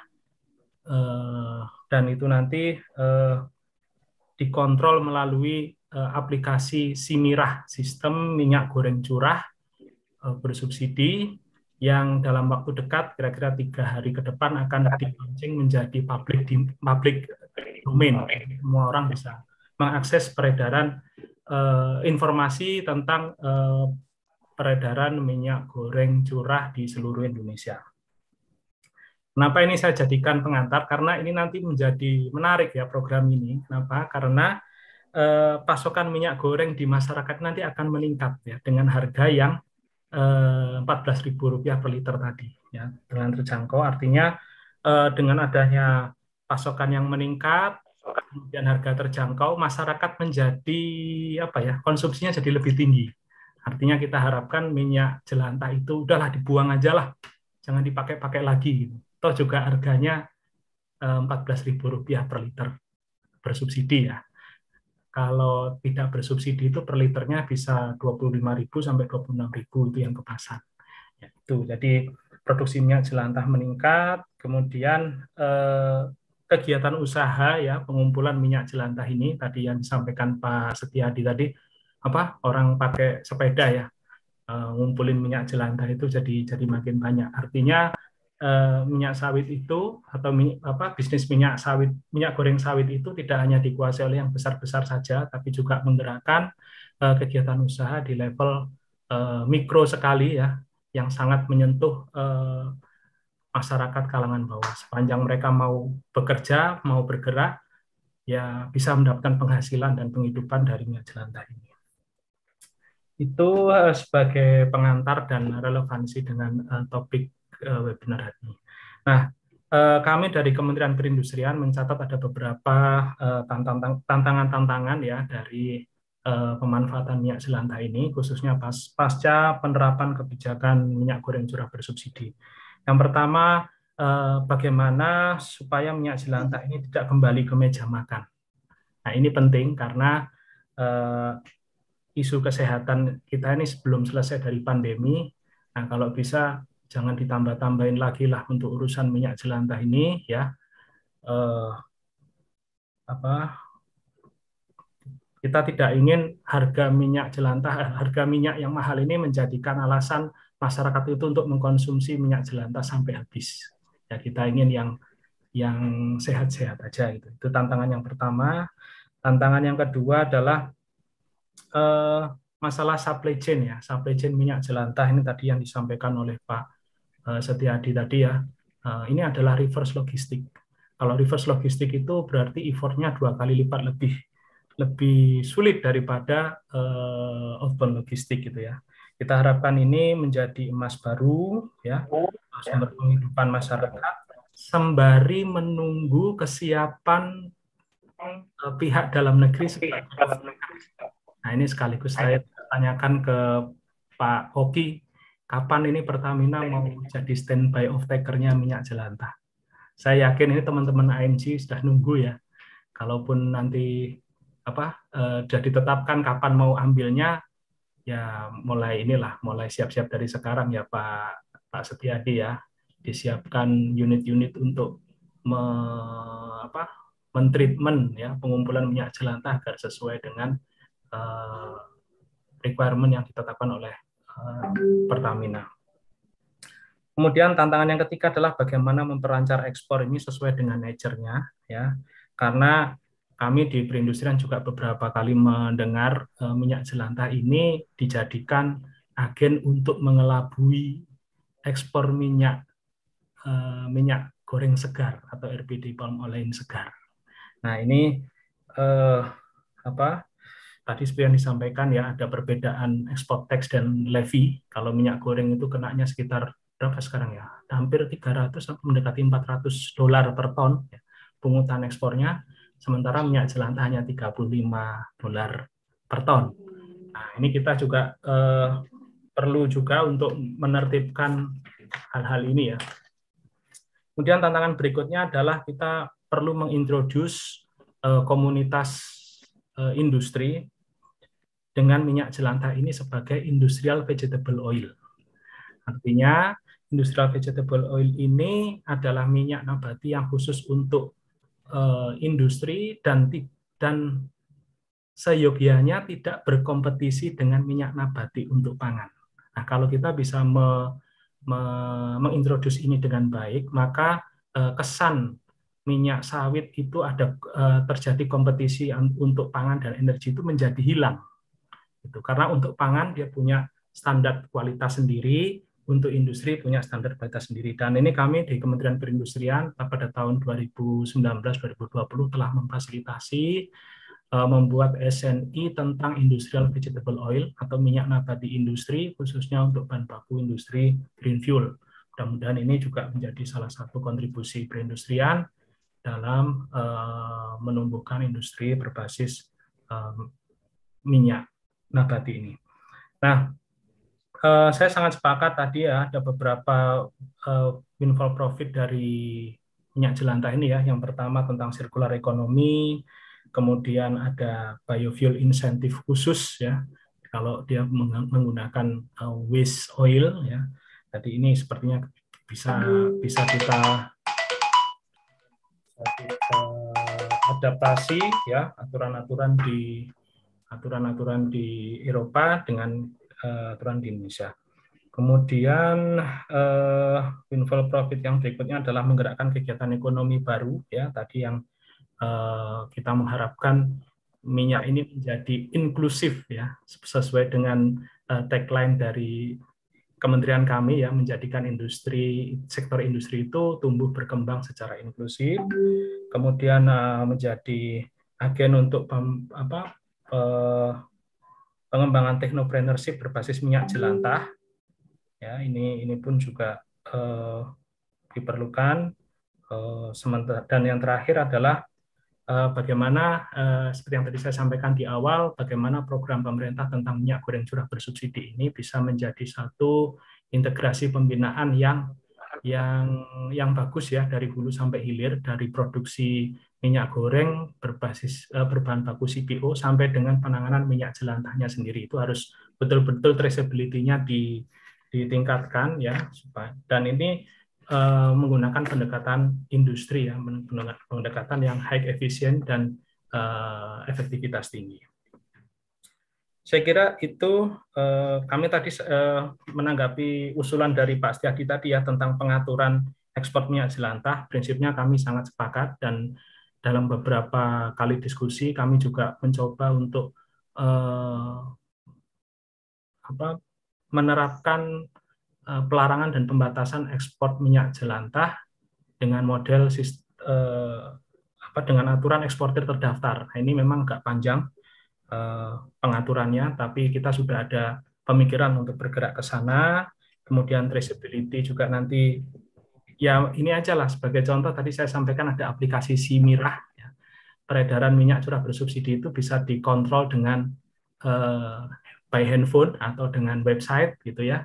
Bisa diakses di simirah.kemenprin.go.id ya. Nanti akan kelihatan. Nah, ini kita harapkan juga bisa diimplementasikan di peredaran minyak jelantah supaya itu tadi minyak jelantah itu bisa kita tempatkan pada eh, yang yang sewajarnya di situ sehingga tetap bisa menggerakkan perekonomian sekaligus mengamankan yang yang, yang lebih penting adalah mengamankan eh, supply chain minyak jelantah supaya tidak naik kembali ke meja makan dan menjadi sumber masalah baru bagi kesehatan masyarakat. Saya kira itu eh, tanggapan kami Pak moderator Pak Tirto demikian terima kasih.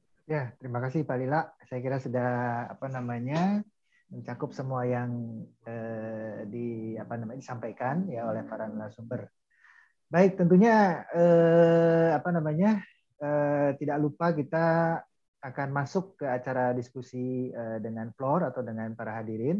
Nah, tapi sebelum apa namanya sebelum itu kita coba untuk eh, foto bersama ya eh, Mbak Tanti ya, karena mengingat kemungkinan diskusi ini kita batasi nanti sampai jam 16.30 ya karena mungkin ada beberapa yang ingin juga menyiapkan eh, berbukanya ya berbuka puasanya begitu. Eh, silakan eh, mungkin Pak Jejen bisa bantu untuk ambil gambar. Oke. Baik, eh, saya akan ambil gambar. Ini ada 8 halaman, jadi mohon bersabar. Silakan berbuka cam, bukan berbuka puasa ya. Oke, kita mulai dari eh, halaman pertama. Sebentar. Eh, satu, dua, tiga. Kemudian halaman kedua. Satu, dua, tiga. Halaman ketiga. Satu, dua, tiga. Halaman keempat. Satu, dua, tiga. Oke, halaman kelima. Halaman keenam. Halaman ketujuh. Dan terakhir. Oke, sudah, Pak Tirta. Baik, terima kasih Pak Dr. Jenny. Eh, baik, kita lanjutkan ke sesi tanya jawab ya. Eh, akan tetapi mungkin eh, pengaturannya adalah sebagai berikut. Jadi eh, di awal kita akan menjawab eh, pertanyaan-pertanyaan yang disampaikan melalui kolom chat, ya kolom chatting atau kolom komunikasi. Baru kemudian nanti kita membuka uh, open discussion dengan cara Bapak Ibu monggo silakan uh, apa namanya uh, raise hand atau mengangkat tangan dengan apa namanya reaction yang ada di fasilitas reaction yang ada di Zoom. Nah, nanti secara urutan akan terlihat biasanya Zoom-nya sudah semakin canggih. Nah, jadi satu persatu nanti akan saya minta untuk bicara, untuk bertanya begitu. Baik, eh, pertama eh, pertanyaan ya. Eh, ini saya saya rangkaikan jadi eh, pertanyaan kepada Pak Hakun untuk terlebih dahulu begitu. Eh, kalau nanti ada pertanyaan tambahan ya eh, mohon nanti disampaikan di apa namanya sesi eh, open discussion-nya jadi dengan cara eh, open cam dan juga open mic begitu. Baik, pertama uh, untuk Pak Hakun nih ada pertanyaan dari Pak Hubert, dari Pak Mubarok begitu ya, Pak Hanif Mubarok. Yang ada di chat sebetulnya sudah ada di sana yaitu tentang uh, apa namanya? Uh, harga atau cost dari biaya operasional processingnya yang mungkin terkait dengan pengolahan minyak jelantah tadi ya Pak Pak Hakun. Nah kemudian juga dari Pak Hanif juga eh, apa namanya? Apakah riset yang dilakukan sudah sampai tahap kajian keekonomian. Nah, kalau sudah mungkin boleh uh, di-share begitu. Uh, demikian, ini pertanyaan dari Pak Hubert dan Pak Hanif, uh, Pak Hakun. Uh, silakan mungkin uh, bisa menjawab Pak uh, Hakun, demikian. Terima kasih uh, Pak Tito, terima kasih Pak Hubert dan uh, atas mungkin pertanyaan. terkait dengan pengolahan menjadi minyak goreng ya Pak? Iya, ya, ya. ya. Uh, kenapa uh, ide kami, tim kami ini berbeda dengan Bapak Ibu sekalian sih karena uh, mengingat apa namanya untuk menjadi biodiesel ini diperlukan uh, keekonomian. Nah, ini sekarang uh, solar ini masih uh, disubsidi sehingga keekonomian dari biodiesel ini juga apa namanya kurang bagus di Indonesia.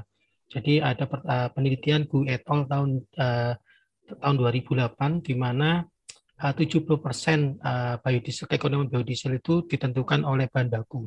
Nah, seperti kita ketahui dulu pas boomingnya minyak nyamplung ya, awalnya tidak harganya apa rendah, tetapi begitu booming itu harganya langsung melejit dan ini menyebabkan kurang ekonomi, ekonomian untuk biodiesel ini kurang uh, bagus. Nah, ini maka tim kami uh, mencoba untuk uh, apa namanya menjadikan ini menjadi minyak goreng.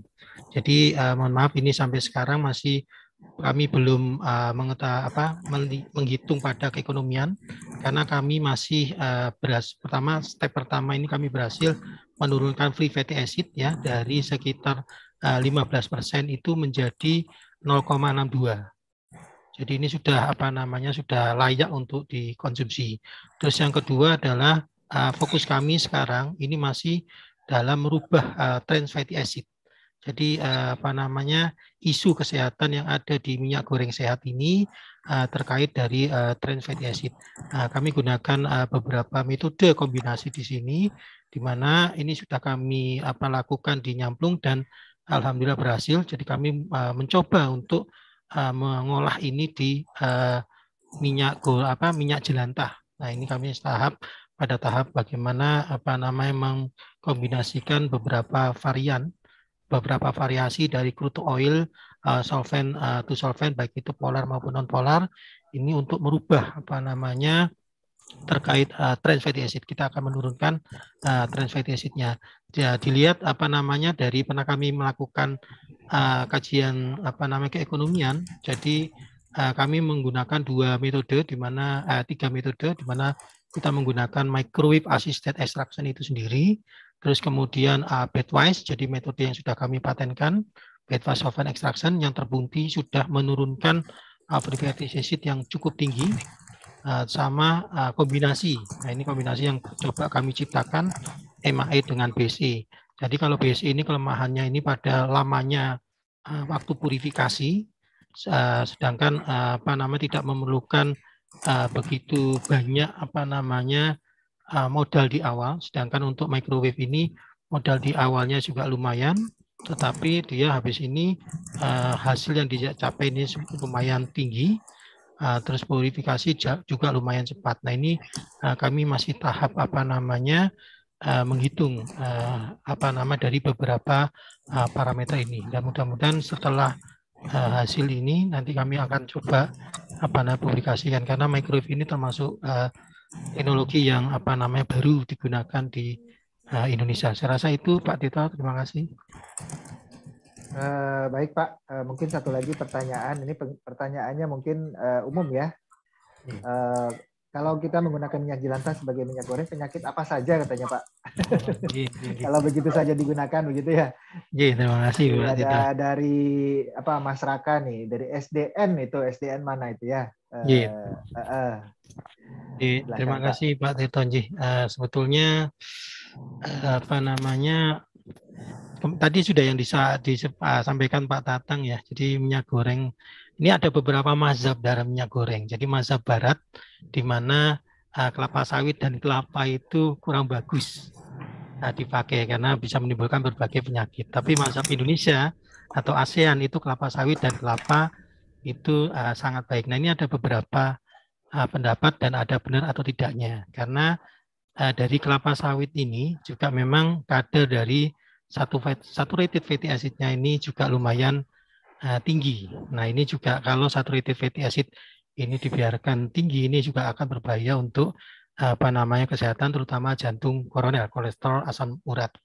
Nah juga apa namanya juga ke depannya juga apa namanya adanya trans fatty acid. Nah ini jadi di kelapa sawit ini kami lagi akan mendetek apakah kebenaran adanya trans fatty acid. Nah kalau misalnya trans fatty acid ada ini, nah ini sangat berbahaya untuk uh, jantung koroner.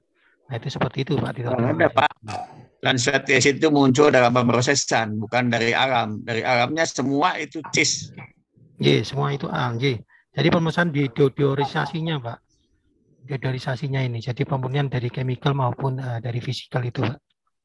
Memang dari kelapa sawit dari crude-nya ini memang apa namanya uh, tidak ada trans tetapi begitu pemrosesan ini, nah ini ada beberapa yang ada, ada beberapa yang tidak, Pak. Seperti itu. Oke, baik. Terima kasih Pak. Uh, kemudian selanjutnya tadi Pak Hakun, kemudian kepada Pak Oki Muraza begitu. Ada pertanyaan dari siapa tadi namanya? Uh, dari Pak Hubert dan juga dari UII demikian, demikian ya. Dan juga dari Pak Suherman dari USU. Nah, pertanyaannya adalah eh, apa namanya? Alternatif pemrosesan ya use cooking oil menjadi green diesel, menjadi green BTX atau pun green naphtha dan lainnya begitu. Nah, bagi Pertamina mana yang eh, nampaknya paling visible gitu ya. Dan kemudian apakah sudah ada time schedule-nya untuk sampai ke sana begitu. Kemudian juga eh, apa namanya?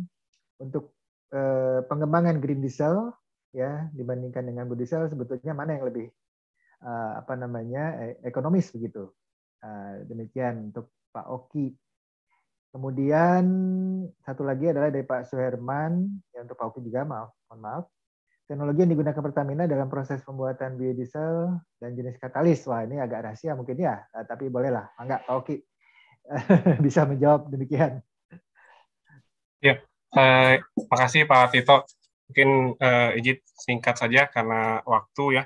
Eh, untuk eh, potensinya ketiga-tiganya itu atau beberapa opsi tadi uh, memang masih uh, dalam kerangka uh, eksploratory ya atau R&D ya.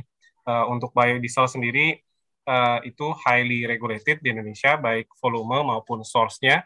Uh, jadi memang kalau memang itu bisa dan uh, bisa mencapai spesifikasi ya uh, speknya masuk dan juga tadi seperti sudah disampaikan juga oleh uh, beberapa pembicara termasuk Pak Paulus ya bahwa uh, kalau memang harga dan keekonomiannya juga bisa masuk tentu itu bisa menjadi pertimbangan.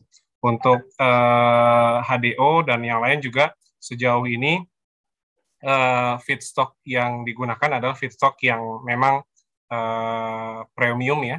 Jadi misalnya Pertamina itu pernah uh, misalnya uh, mempelajari untuk uh, cracking ya, cracking untuk biogasolin itu tapi masih dari yang uh, eh, RBDPO ya, yang refined uh, bleach and deodorize.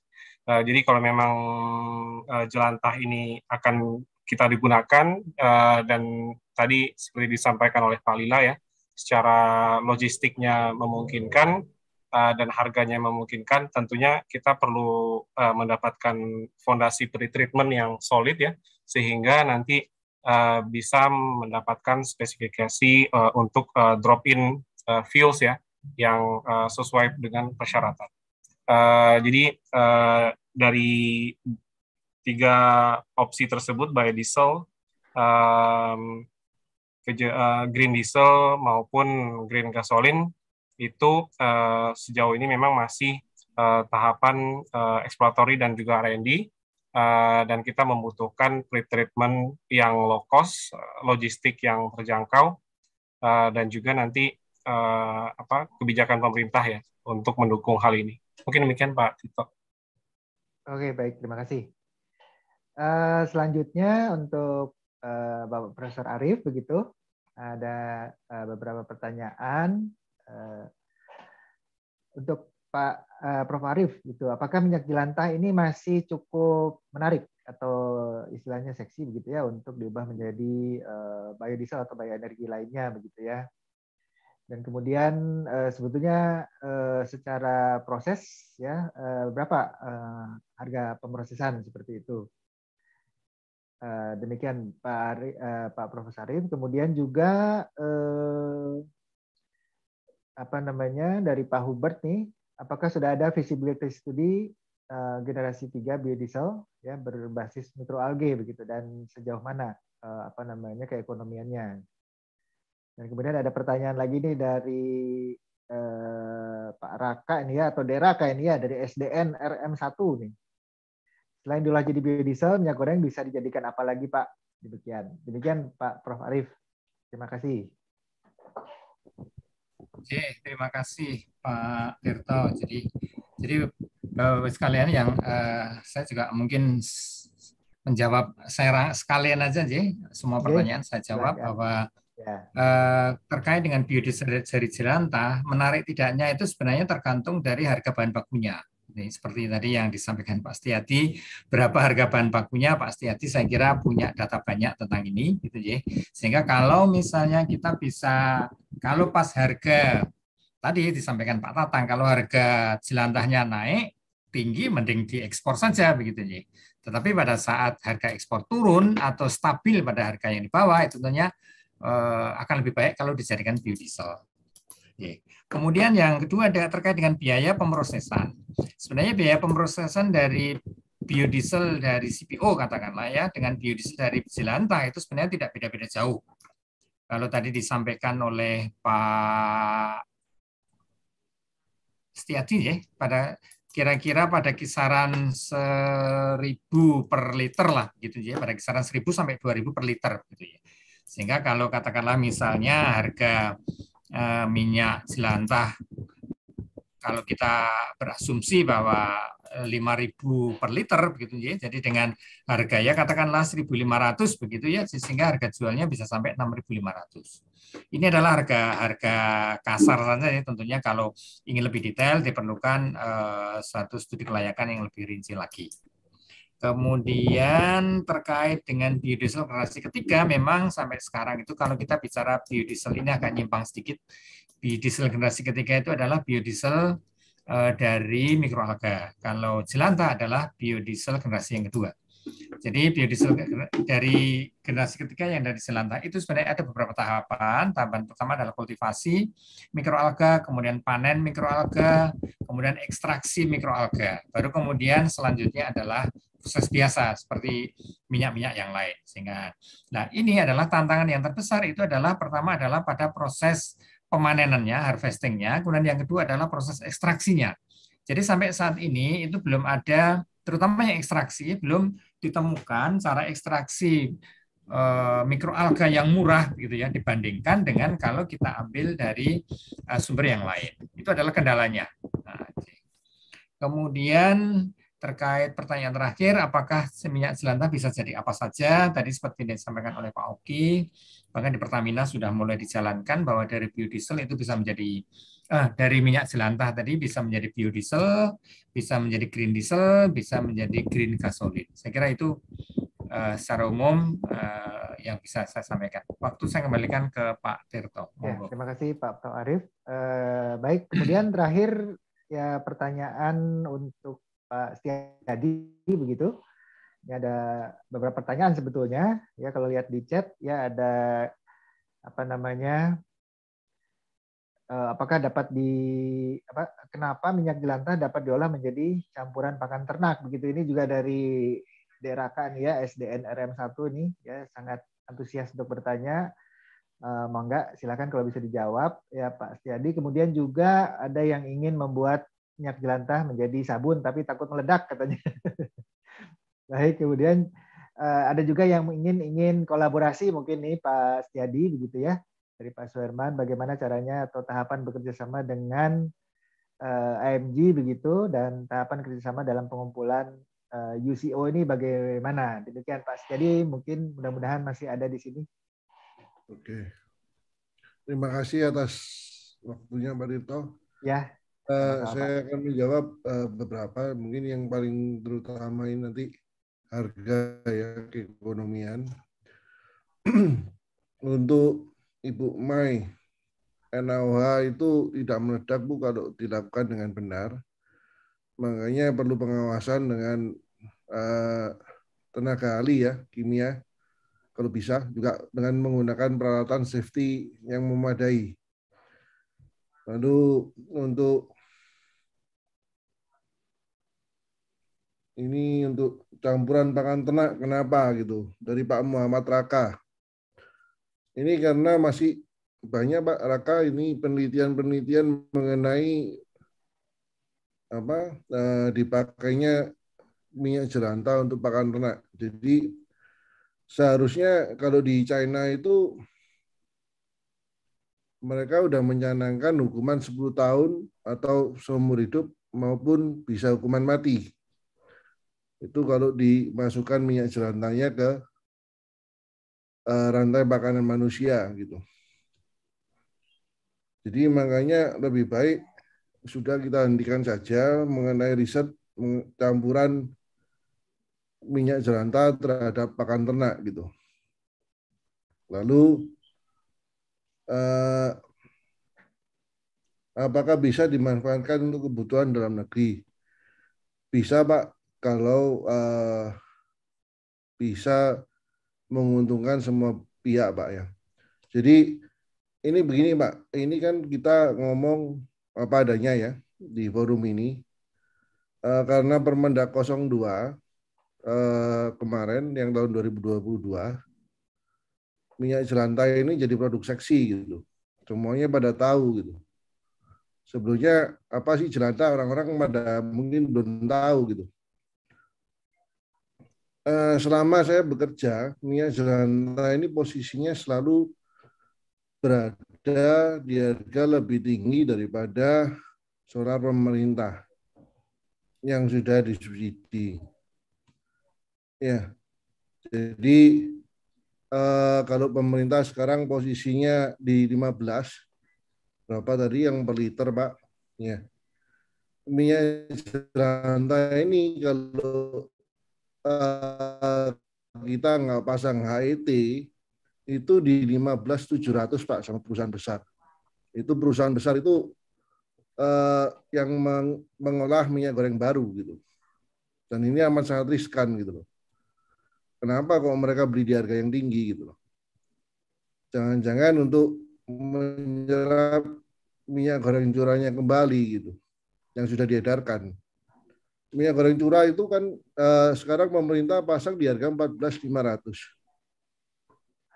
Ya, kalau kita pasang di harga 15.700 apa enggak keterlaluan tuh harganya gitu. Ya kan? Maunya apa mereka gitu? Mau menyerap curahnya lagi. Bisa aja gitu kan. Kemungkinan itu bisa terjadi gitu. Sedangkan kita dalam asosiasi itu amat sangat mendukung program pemerintah gitu. Kita mengeluarkan HET. Padahal kita tahu itu akan salah gitu. Itu melanggar peraturan. Bisa di PKPU kan gitu. Karena merah putih ya kita mengeluarkan HET. Soalnya kita nggak mau sampai minyak goreng curah ini masuk ke anggota kita gitu. Ini bisnis utama kita gitu ya kan. Kita nggak mau usaha kita mati ke depannya. Jangan sampai ke depannya ekspor jelantah malah dilarang karena olehin masuk ke kita gitu. Itu yang kita hindarkan. Itu kita yang nggak mau kan gitu. Sekarang harga ekspor di luar negeri untuk minyak jelantah per kilonya itu di angka 18 sampai 19 ribu, Pak. Uh, mahal ya, Pak. Jadi biasa gitu. minyak goreng curah itu sebenarnya di awal tahun sudah nggak boleh ya? Harusnya, Pak. Karena Ya, itu. permasalahannya permasalahannya rakyat kita belum siap, Pak, dengan biaya packaging, biaya produksi untuk packaging dan lain sebagainya, kos distribusi. Mereka belum siap, Pak. Jadi makanya curah ini masih ada gitu. Soalnya masyarakat ini daya belinya melemah sejak COVID. Dan banyak bukannya minyak Makanya minyak goreng curah harga 14.000 sekarang itu dengan mudah bisa dikumpul lagi oleh orang-orang eh, dalam tanda kutip kemudian diekspor. Kan untungnya besar itu. Betul Pak, nah itu makanya ini yang saya herankan Pak. Kita kita herankan dan kita udah laporkan gitu. Kita ada buktinya, kita kasih buktinya juga Pak. Bahwa mereka perusahaan besar ini yang berafiliasi itu membeli minyak jelantah di harga 15.750 per kilo. Dan ini yang jadi bahaya gitu. Makanya saya coba menyuarakan di sini biar viral gitu. Ini perlu diatur gitu. Kalau Pak Lila tadi eh, mau mengatur kita, kita sangat welcome gitu. Soalnya ini banyak pengusaha rakyat kecil, Pak. Yang ya tadi yang saya bilang yang bapak-bapak tua bawa sepeda ngangkut cuma jurigennya satu atau dua gitu. Dan itu perlu dilindungi gitu. Ini banyak perusahaan-perusahaan yang tiba-tiba karena barang ini seksi semua pada tahu pada punya uang banyak ya kan datang ke pengepul nih kita kasih harga 15.750 store ke kita semua gitu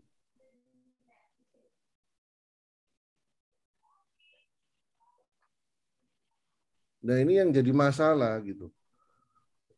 Dari pertama eh, kita menjadi sorotan pemerintah itu sudah merasa wah ini blunder besar gitu.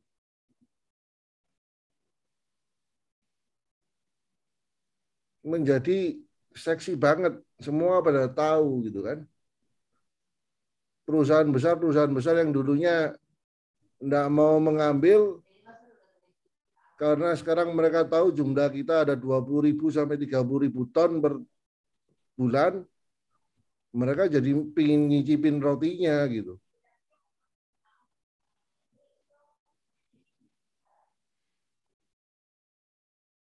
Nah, ini yang uh, saya mau bilang sama Pak Tatang bahwa kita mau Pak ngasihin harga tertinggi ke masyarakat. Kita mau ngasihin mereka porsi yang lebih besar. Dulu sebelum ada Permendak, Pak, kita itu cuma makan porsinya 1.500 sampai 2.000 rupiah, Pak masyarakat ngambil porsinya lebih besar daripada kita gitu.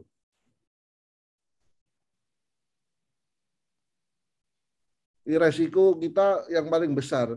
Kalau kapalnya apa tenggelam kita yang bayar ya kan. Kalau barangnya jelek kita kita kena klaim dan lain sebagainya. Kalau apa flexi bagnya bocor atau kontainernya PO atau gimana kita semua yang bayar. itu zaman dulu sebelum jadi seksi gitu. Sekarang ini udah jadi seksi sekali. Apalagi pemerintah juga mengeluarkan curah. Ini ini yang jadi uh, buah si malakama buat kita gitu. Iya, iya.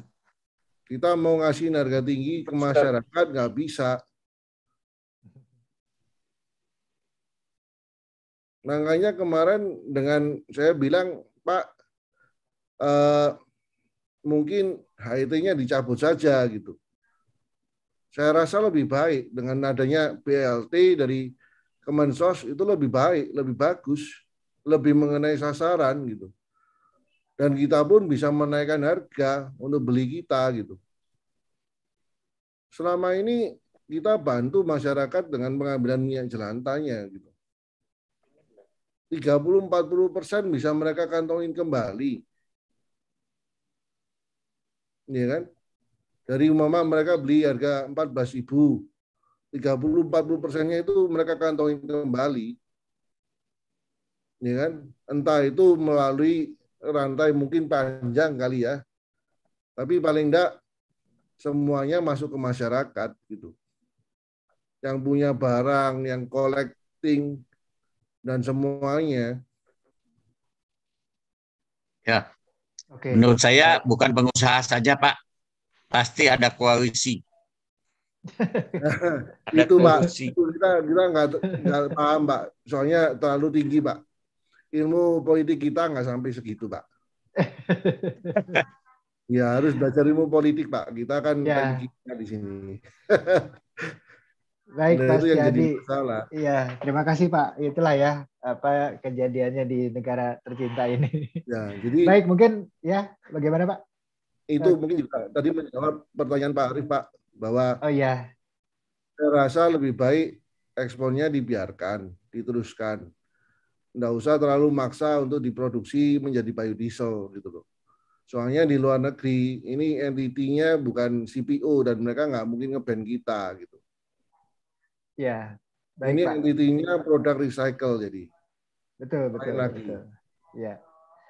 Baik, Bapak Ibu, eh, karena waktu juga sudah sedikit lagi, ya sebetulnya sudah lewat, tapi ada yang ingin raise hand. Nah, saya kira supaya lebih semarak, ada juga yang open cam untuk bertanya begitu. Dan ada satu orang yang nampaknya Pak Zainal Asikin Abbas. Nah, silakan Iya. Pak Zainal untuk open cam dan open mic untuk berbicara. Terima kasih Pak Tirto. Jadi tadi disebutkan oleh sama Pak Harkun Buka kamera. Oke, Pak kameranya saya on kan. Oh iya. Oke, tadi disebutkan ya bahwasanya untuk minyak makan itu PFAD kurang bagus dan Pak Harkun bisa menurunkan dari 15% ke mendekati 0%. Itu PFAD-nya diekstraksi atau direaksikan menjadi minyak goreng, Pak?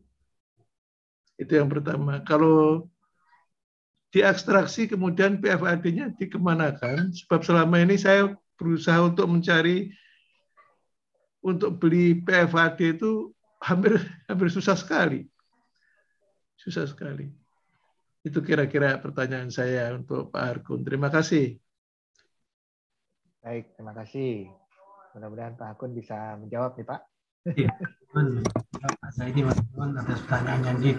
Eh, kami apa namanya eh, melakukan jadi eh, teknologi microwave ini ternyata apa namanya terjadi reaksi jadi pemutusan eh, apa nama ion H eh, di acid ini eh, menyebabkan dia apa namanya eh, reaksi balik ke eh, menjadi apa namanya uh, TG, Pak, pada saat apa namanya setelah reaksi dari uh, microwave tadi, apa namanya terjadi penurunan. Jadi kami kami pernah cek di lab, uh, di lab jadi uh, free fatty acid, terus kemudian mono uh, dan uh, ini terjadi penurunan, terjadi penurunan, terus kemudian uh, TG-nya meningkat. Nah ini uh, apa namanya uh, akibat dari uh, energi yang di energi mikro yang dikeluarkan oleh microwave ini. Pak. Jadi uh, uh, microwave ini intinya dalam microwave precision extraction mengekstrak apa namanya senyawa yang ada jadi reaksi sehingga FFA-nya ini menurun. Seperti itu Pak apa Pak Zaini. Oke, baik. Mungkin Pak Jenderal Asikin ada masih ada pertanyaan kembali nih. Suaranya putus-putus, mungkin lebih sebaiknya saya mendapat apa namanya kontak personnya Pak Harkun aja. Ya, boleh Pak, silakan. Ya. Mungkin komunikasi via chat untuk menyampaikan secara japri juga bisa Pak. Ya, baik, baik. Terima kasih Eh, Pak suaranya Zainal. putus-putus ini ada low system resources. Apa Soalnya ini? ini, Pak, hujan suaranya ini, putus. Baik, terima kasih. Terima kasih Pak Tirto. Baik, sama-sama Pak Zainal. Eh, kemudian masih ada pertanyaan eh, satu lagi mungkin dari Flor untuk raise hand. Oke, mungkin sudah tidak ada ya. Oh, ini ada dua nih, ada. Oke. Baik, dengan satu lagi mungkin Bapak Ibu eh, dari Pak Bayu, Bayu Arya. Silakan Pak Bayu.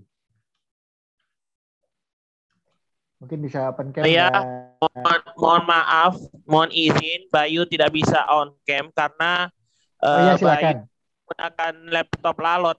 Jadi biasa Bayu agak keluar masuk keluar masuk. Bismillahirrahmanirrahim. Assalamualaikum warahmatullahi wabarakatuh. Eh, yang terhormat eh, Insinyur Tirto, eh, yang terhormat eh, Insinyur Hakun, yang terhormat Insinyur Setiadi, yang terhormat Prof Arif, yang terhormat eh, Insinyur eh, Prof Arif, Insinyur Lila, Insinyur Tatang, sama Insinyur Paulus, serta eh, Ibu Ketua Insinyur Tanti sama Bu Bapak dan Pak Langsung Insinyur. tanya aja. Ya. Salam kenal.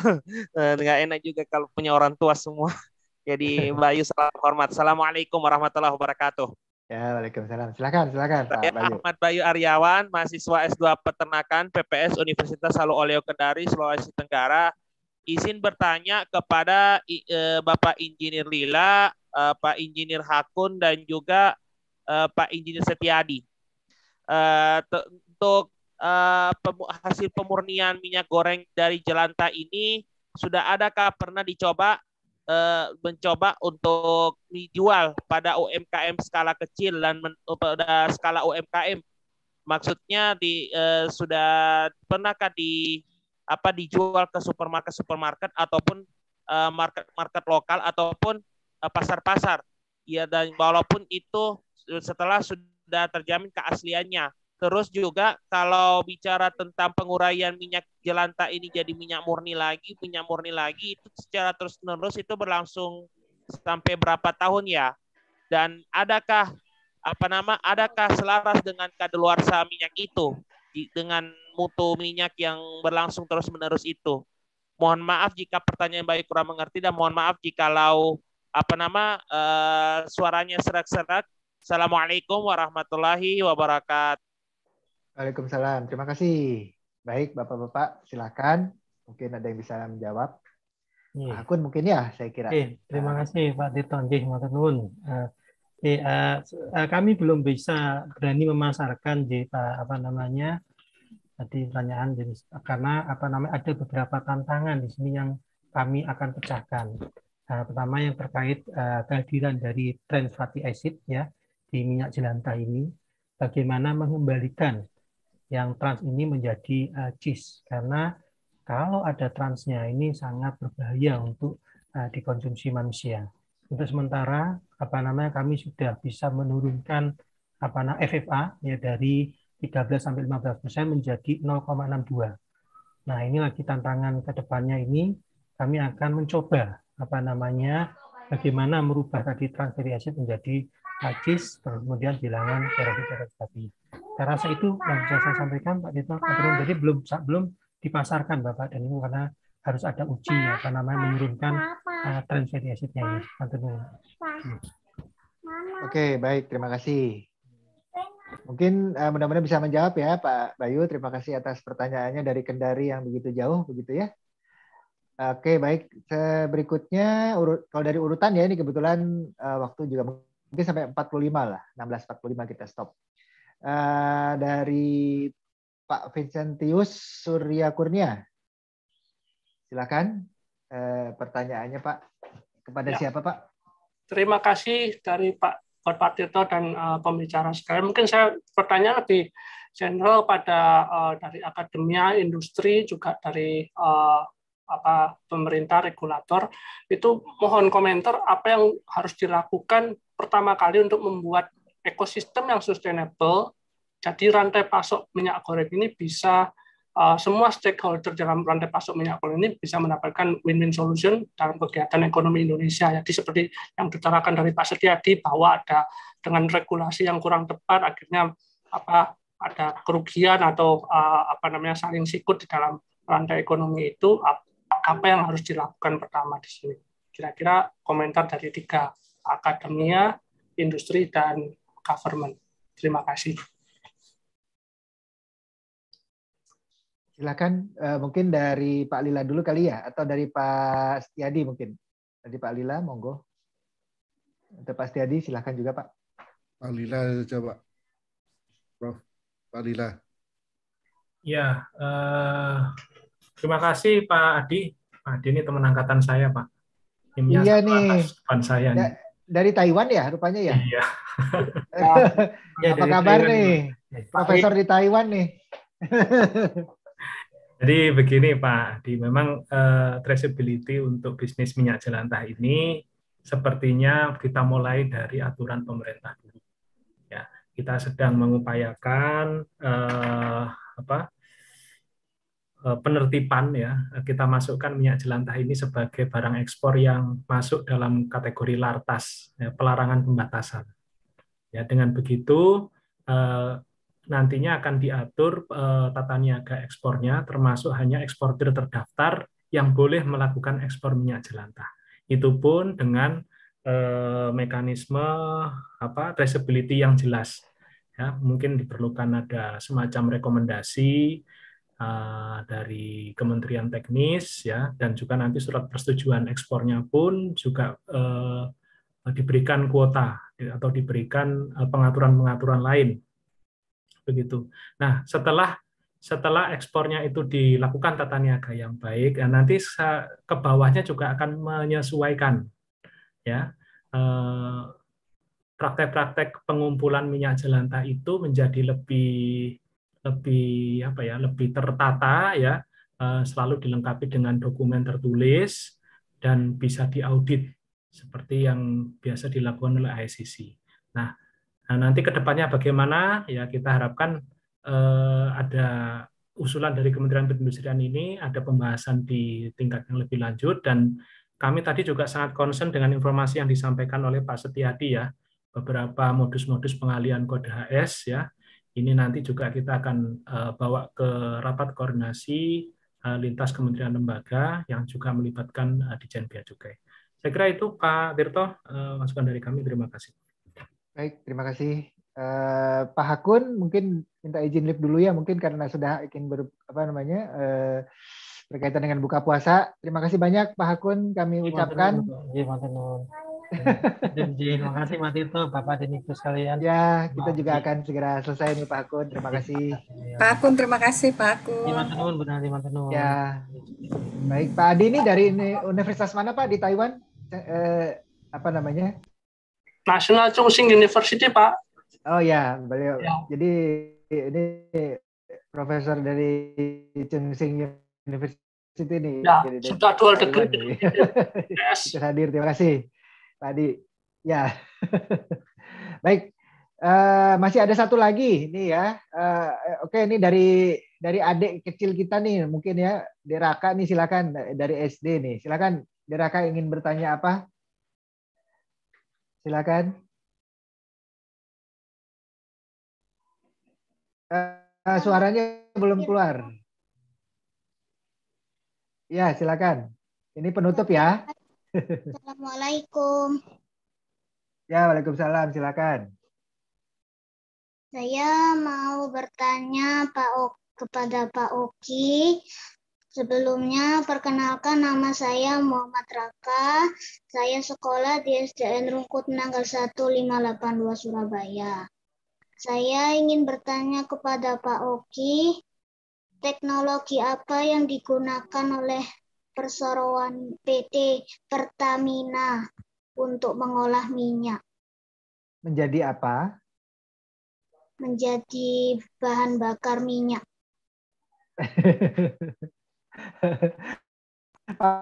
Oke, oke, silakan. Mungkin bisa dijawab. Ini mungkin pertanyaannya eh, cukup sederhana, tapi jawabannya sangat panjang ini sebetulnya.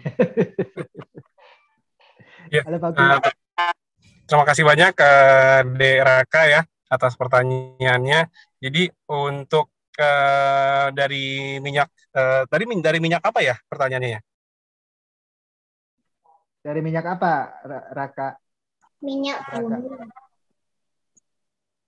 Oh, dari minyak bumi katanya, Pak. Oh, dari minyak bumi. Oh ya, eh, dari minyak bumi itu eh, nanti akan masuk ke kilang namanya. Di kilang itu ada beberapa proses. Di eh, proses antara lain proses dengan apa fisik ya, eh, termasuk di dalamnya dipanaskan. Eh, itu nanti Deraka mengenalnya sebagai distilasi. Kemudian ada beberapa proses dengan bantuan katalis. Katalis itu yang nantinya akan membantu uh, untuk merubah ya uh, atau kita menyebutnya mengkonversi dari minyak uh, bumi itu menjadi produk-produk uh, fuel dan juga chemicals. Mungkin demikian Deraka. Ya, baik. Terima kasih Pak Oki atas jawabannya dan juga Deraka atas pertanyaannya ya dari Surabaya. Baik, eh, Iya, Bapak Ibu saya kira Dirakannya rajin-rajin ya, biar nanti bisa masuk teknik kimia.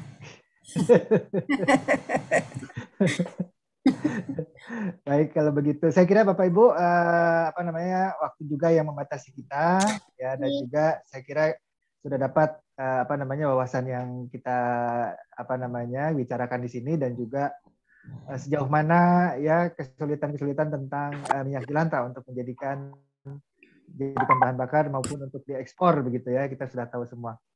Eh, baik, saya kira begitu. Bu Tanti mungkin silakan eh, saya kembalikan kepada Bu Tanti ya untuk apa namanya penutup. Terima Oke, kasih terima kasih.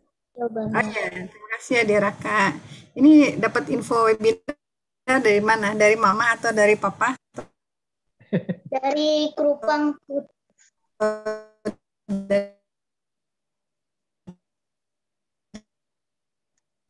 Dari siapa? dari Oke, Krupang Put- ya. Grup apa tuh? Krupang Tahu. Put. Pangeran Putri Lingkungan Hidup itu loh. Oh, Oh, iya, iya, ya, iya. ya, Oh, ya, iya.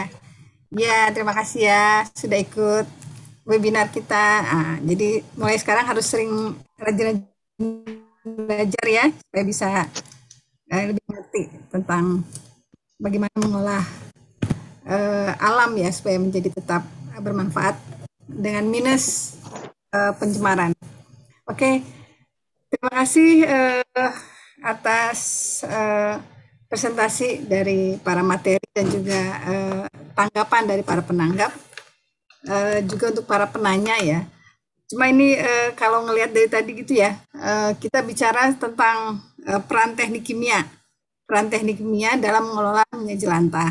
Jadi memang eh, sepertinya eh, plus minus ya dengan kondisi di di Indonesia sendiri ya.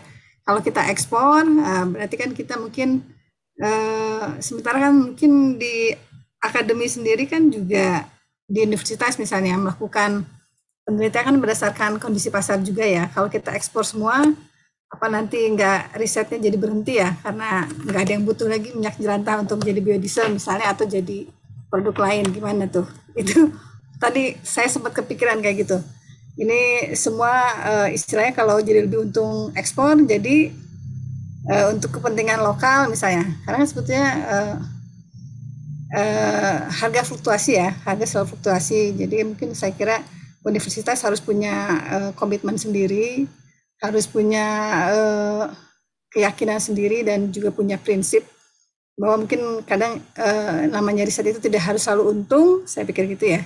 Jadi tetap harus dilakukan karena siapa tahu pas untung kita punya teknologinya daripada kita balik lagi nanti beli teknologi dari luar. Saya kira kayak gitu. Sebenarnya tadi kan di Eropa sendiri kan sudah jadi macam-macam tuh ya naik pesawat terbang gitu pakai tiga jam pakai bahan bakar dari uh, minyak jelantah sementara kita terus ke sana dan akhirnya kita ini beli teknologi lagi siapa tahu seperti itu nanti kondisinya kalau kita selalu hitung untung rugi saya saya pikir seperti itu pemikiran saya seperti itu. Uh, mungkin ini topik yang sangat menarik jadi uh, tidak tidak sederhana mungkin ya. Uh, uh, apa namanya kita tidak bisa ambil tarik garis kesimpulan dari seluruh pemateri ataupun penanggap. Uh, tapi intinya kita sebagai seorang insan ya alumni teknik kimia ya kita harus berpikir bagaimana caranya untuk memberikan nilai tambah dari apa pun yang ada di negara kita terutama apakah itu dalam bentuk limbah atau apa pun uh, bentuk raw material supaya bisa memberikan manfaat yang lebih besar lagi buat kemaslahatan uh, masyarakat dan negara kita. Uh, jadi beruntunglah kita uh, mendapatkan pendidikan yang bisa mengelola hal-hal seperti itu. Uh, ke depan mungkin akan akan ada lagi banyak topik yang menarik uh, dari webinar kolaborasi kita ini antar uh, universitas. Uh, mungkin stay tune aja. Nanti mungkin dari kami dari ikatan alumni masing-masing akan memberikan informasi uh, mengenai materi-materi uh, webinar berikutnya. Uh, sekian dari panitia, dari saya. Banyak sudah menghabiskan waktu siang dalam kondisi lapar dan puasa. Semoga jadi berkah untuk teman-teman semua. Uh, ada ilmu yang bermanfaat, ada sharing uh, informasi yang bermanfaat juga. Semoga kita semua dalam uh, lindungan Allah Subhanahu wa taala dan selalu diberikan uh, kesehatan dan perlindungan. Oke, okay, uh, dari kami seperti itu. Uh, terima kasih banyak. Wassalamualaikum warahmatullahi wabarakatuh. Waalaikumsalam. Waalaikumsalam warahmatullahi wabarakatuh. Terima kasih, Bapak. Terima kasih semua. Penanggap, Bapak-bapak, Iya ya. Pak Paulus. Terima kasih. Bu Tuti, terima kasih. Ya, terima kasih. Terima kasih. Jangan semuanya selamat berbuka puasa. Berbuka puasa. Ya, dari Pak. Selamat berbuka puasa. Ya, terima kasih, Ceng Tanti. Ya, Mbak Tuti. Ini sertifikat mungkin nanti kita kirim ke tiap-tiap eh, ini ya. Nanti eh, Baik. akan Sama, ditanyakan. Ke sama ikatan materinya. Bu. Sama materinya. Materinya. Insya Allah nanti kita tanyakan ke pem, apa ke pemateri yang mana yang kira-kira boleh di share. Takutnya ada yang Baik. Ya. Terima kasih. Oke, terima kasih banyak. Selamat berbuka puasa, selamat bersama. Sama-sama. Sama. Ya, mari. Ya, Ya, assalamualaikum. Istri. Waalaikumsalam. Terima kasih teman-teman Pak Ganis dan Pak Budiana, Pak Hubert, para dosen eh, teknik kimia dan juga untuk semua sivitas alumni teknik kimia di seluruh Indonesia. Kami pamit. Assalamualaikum. Waalaikumsalam. Waalaikumsalam.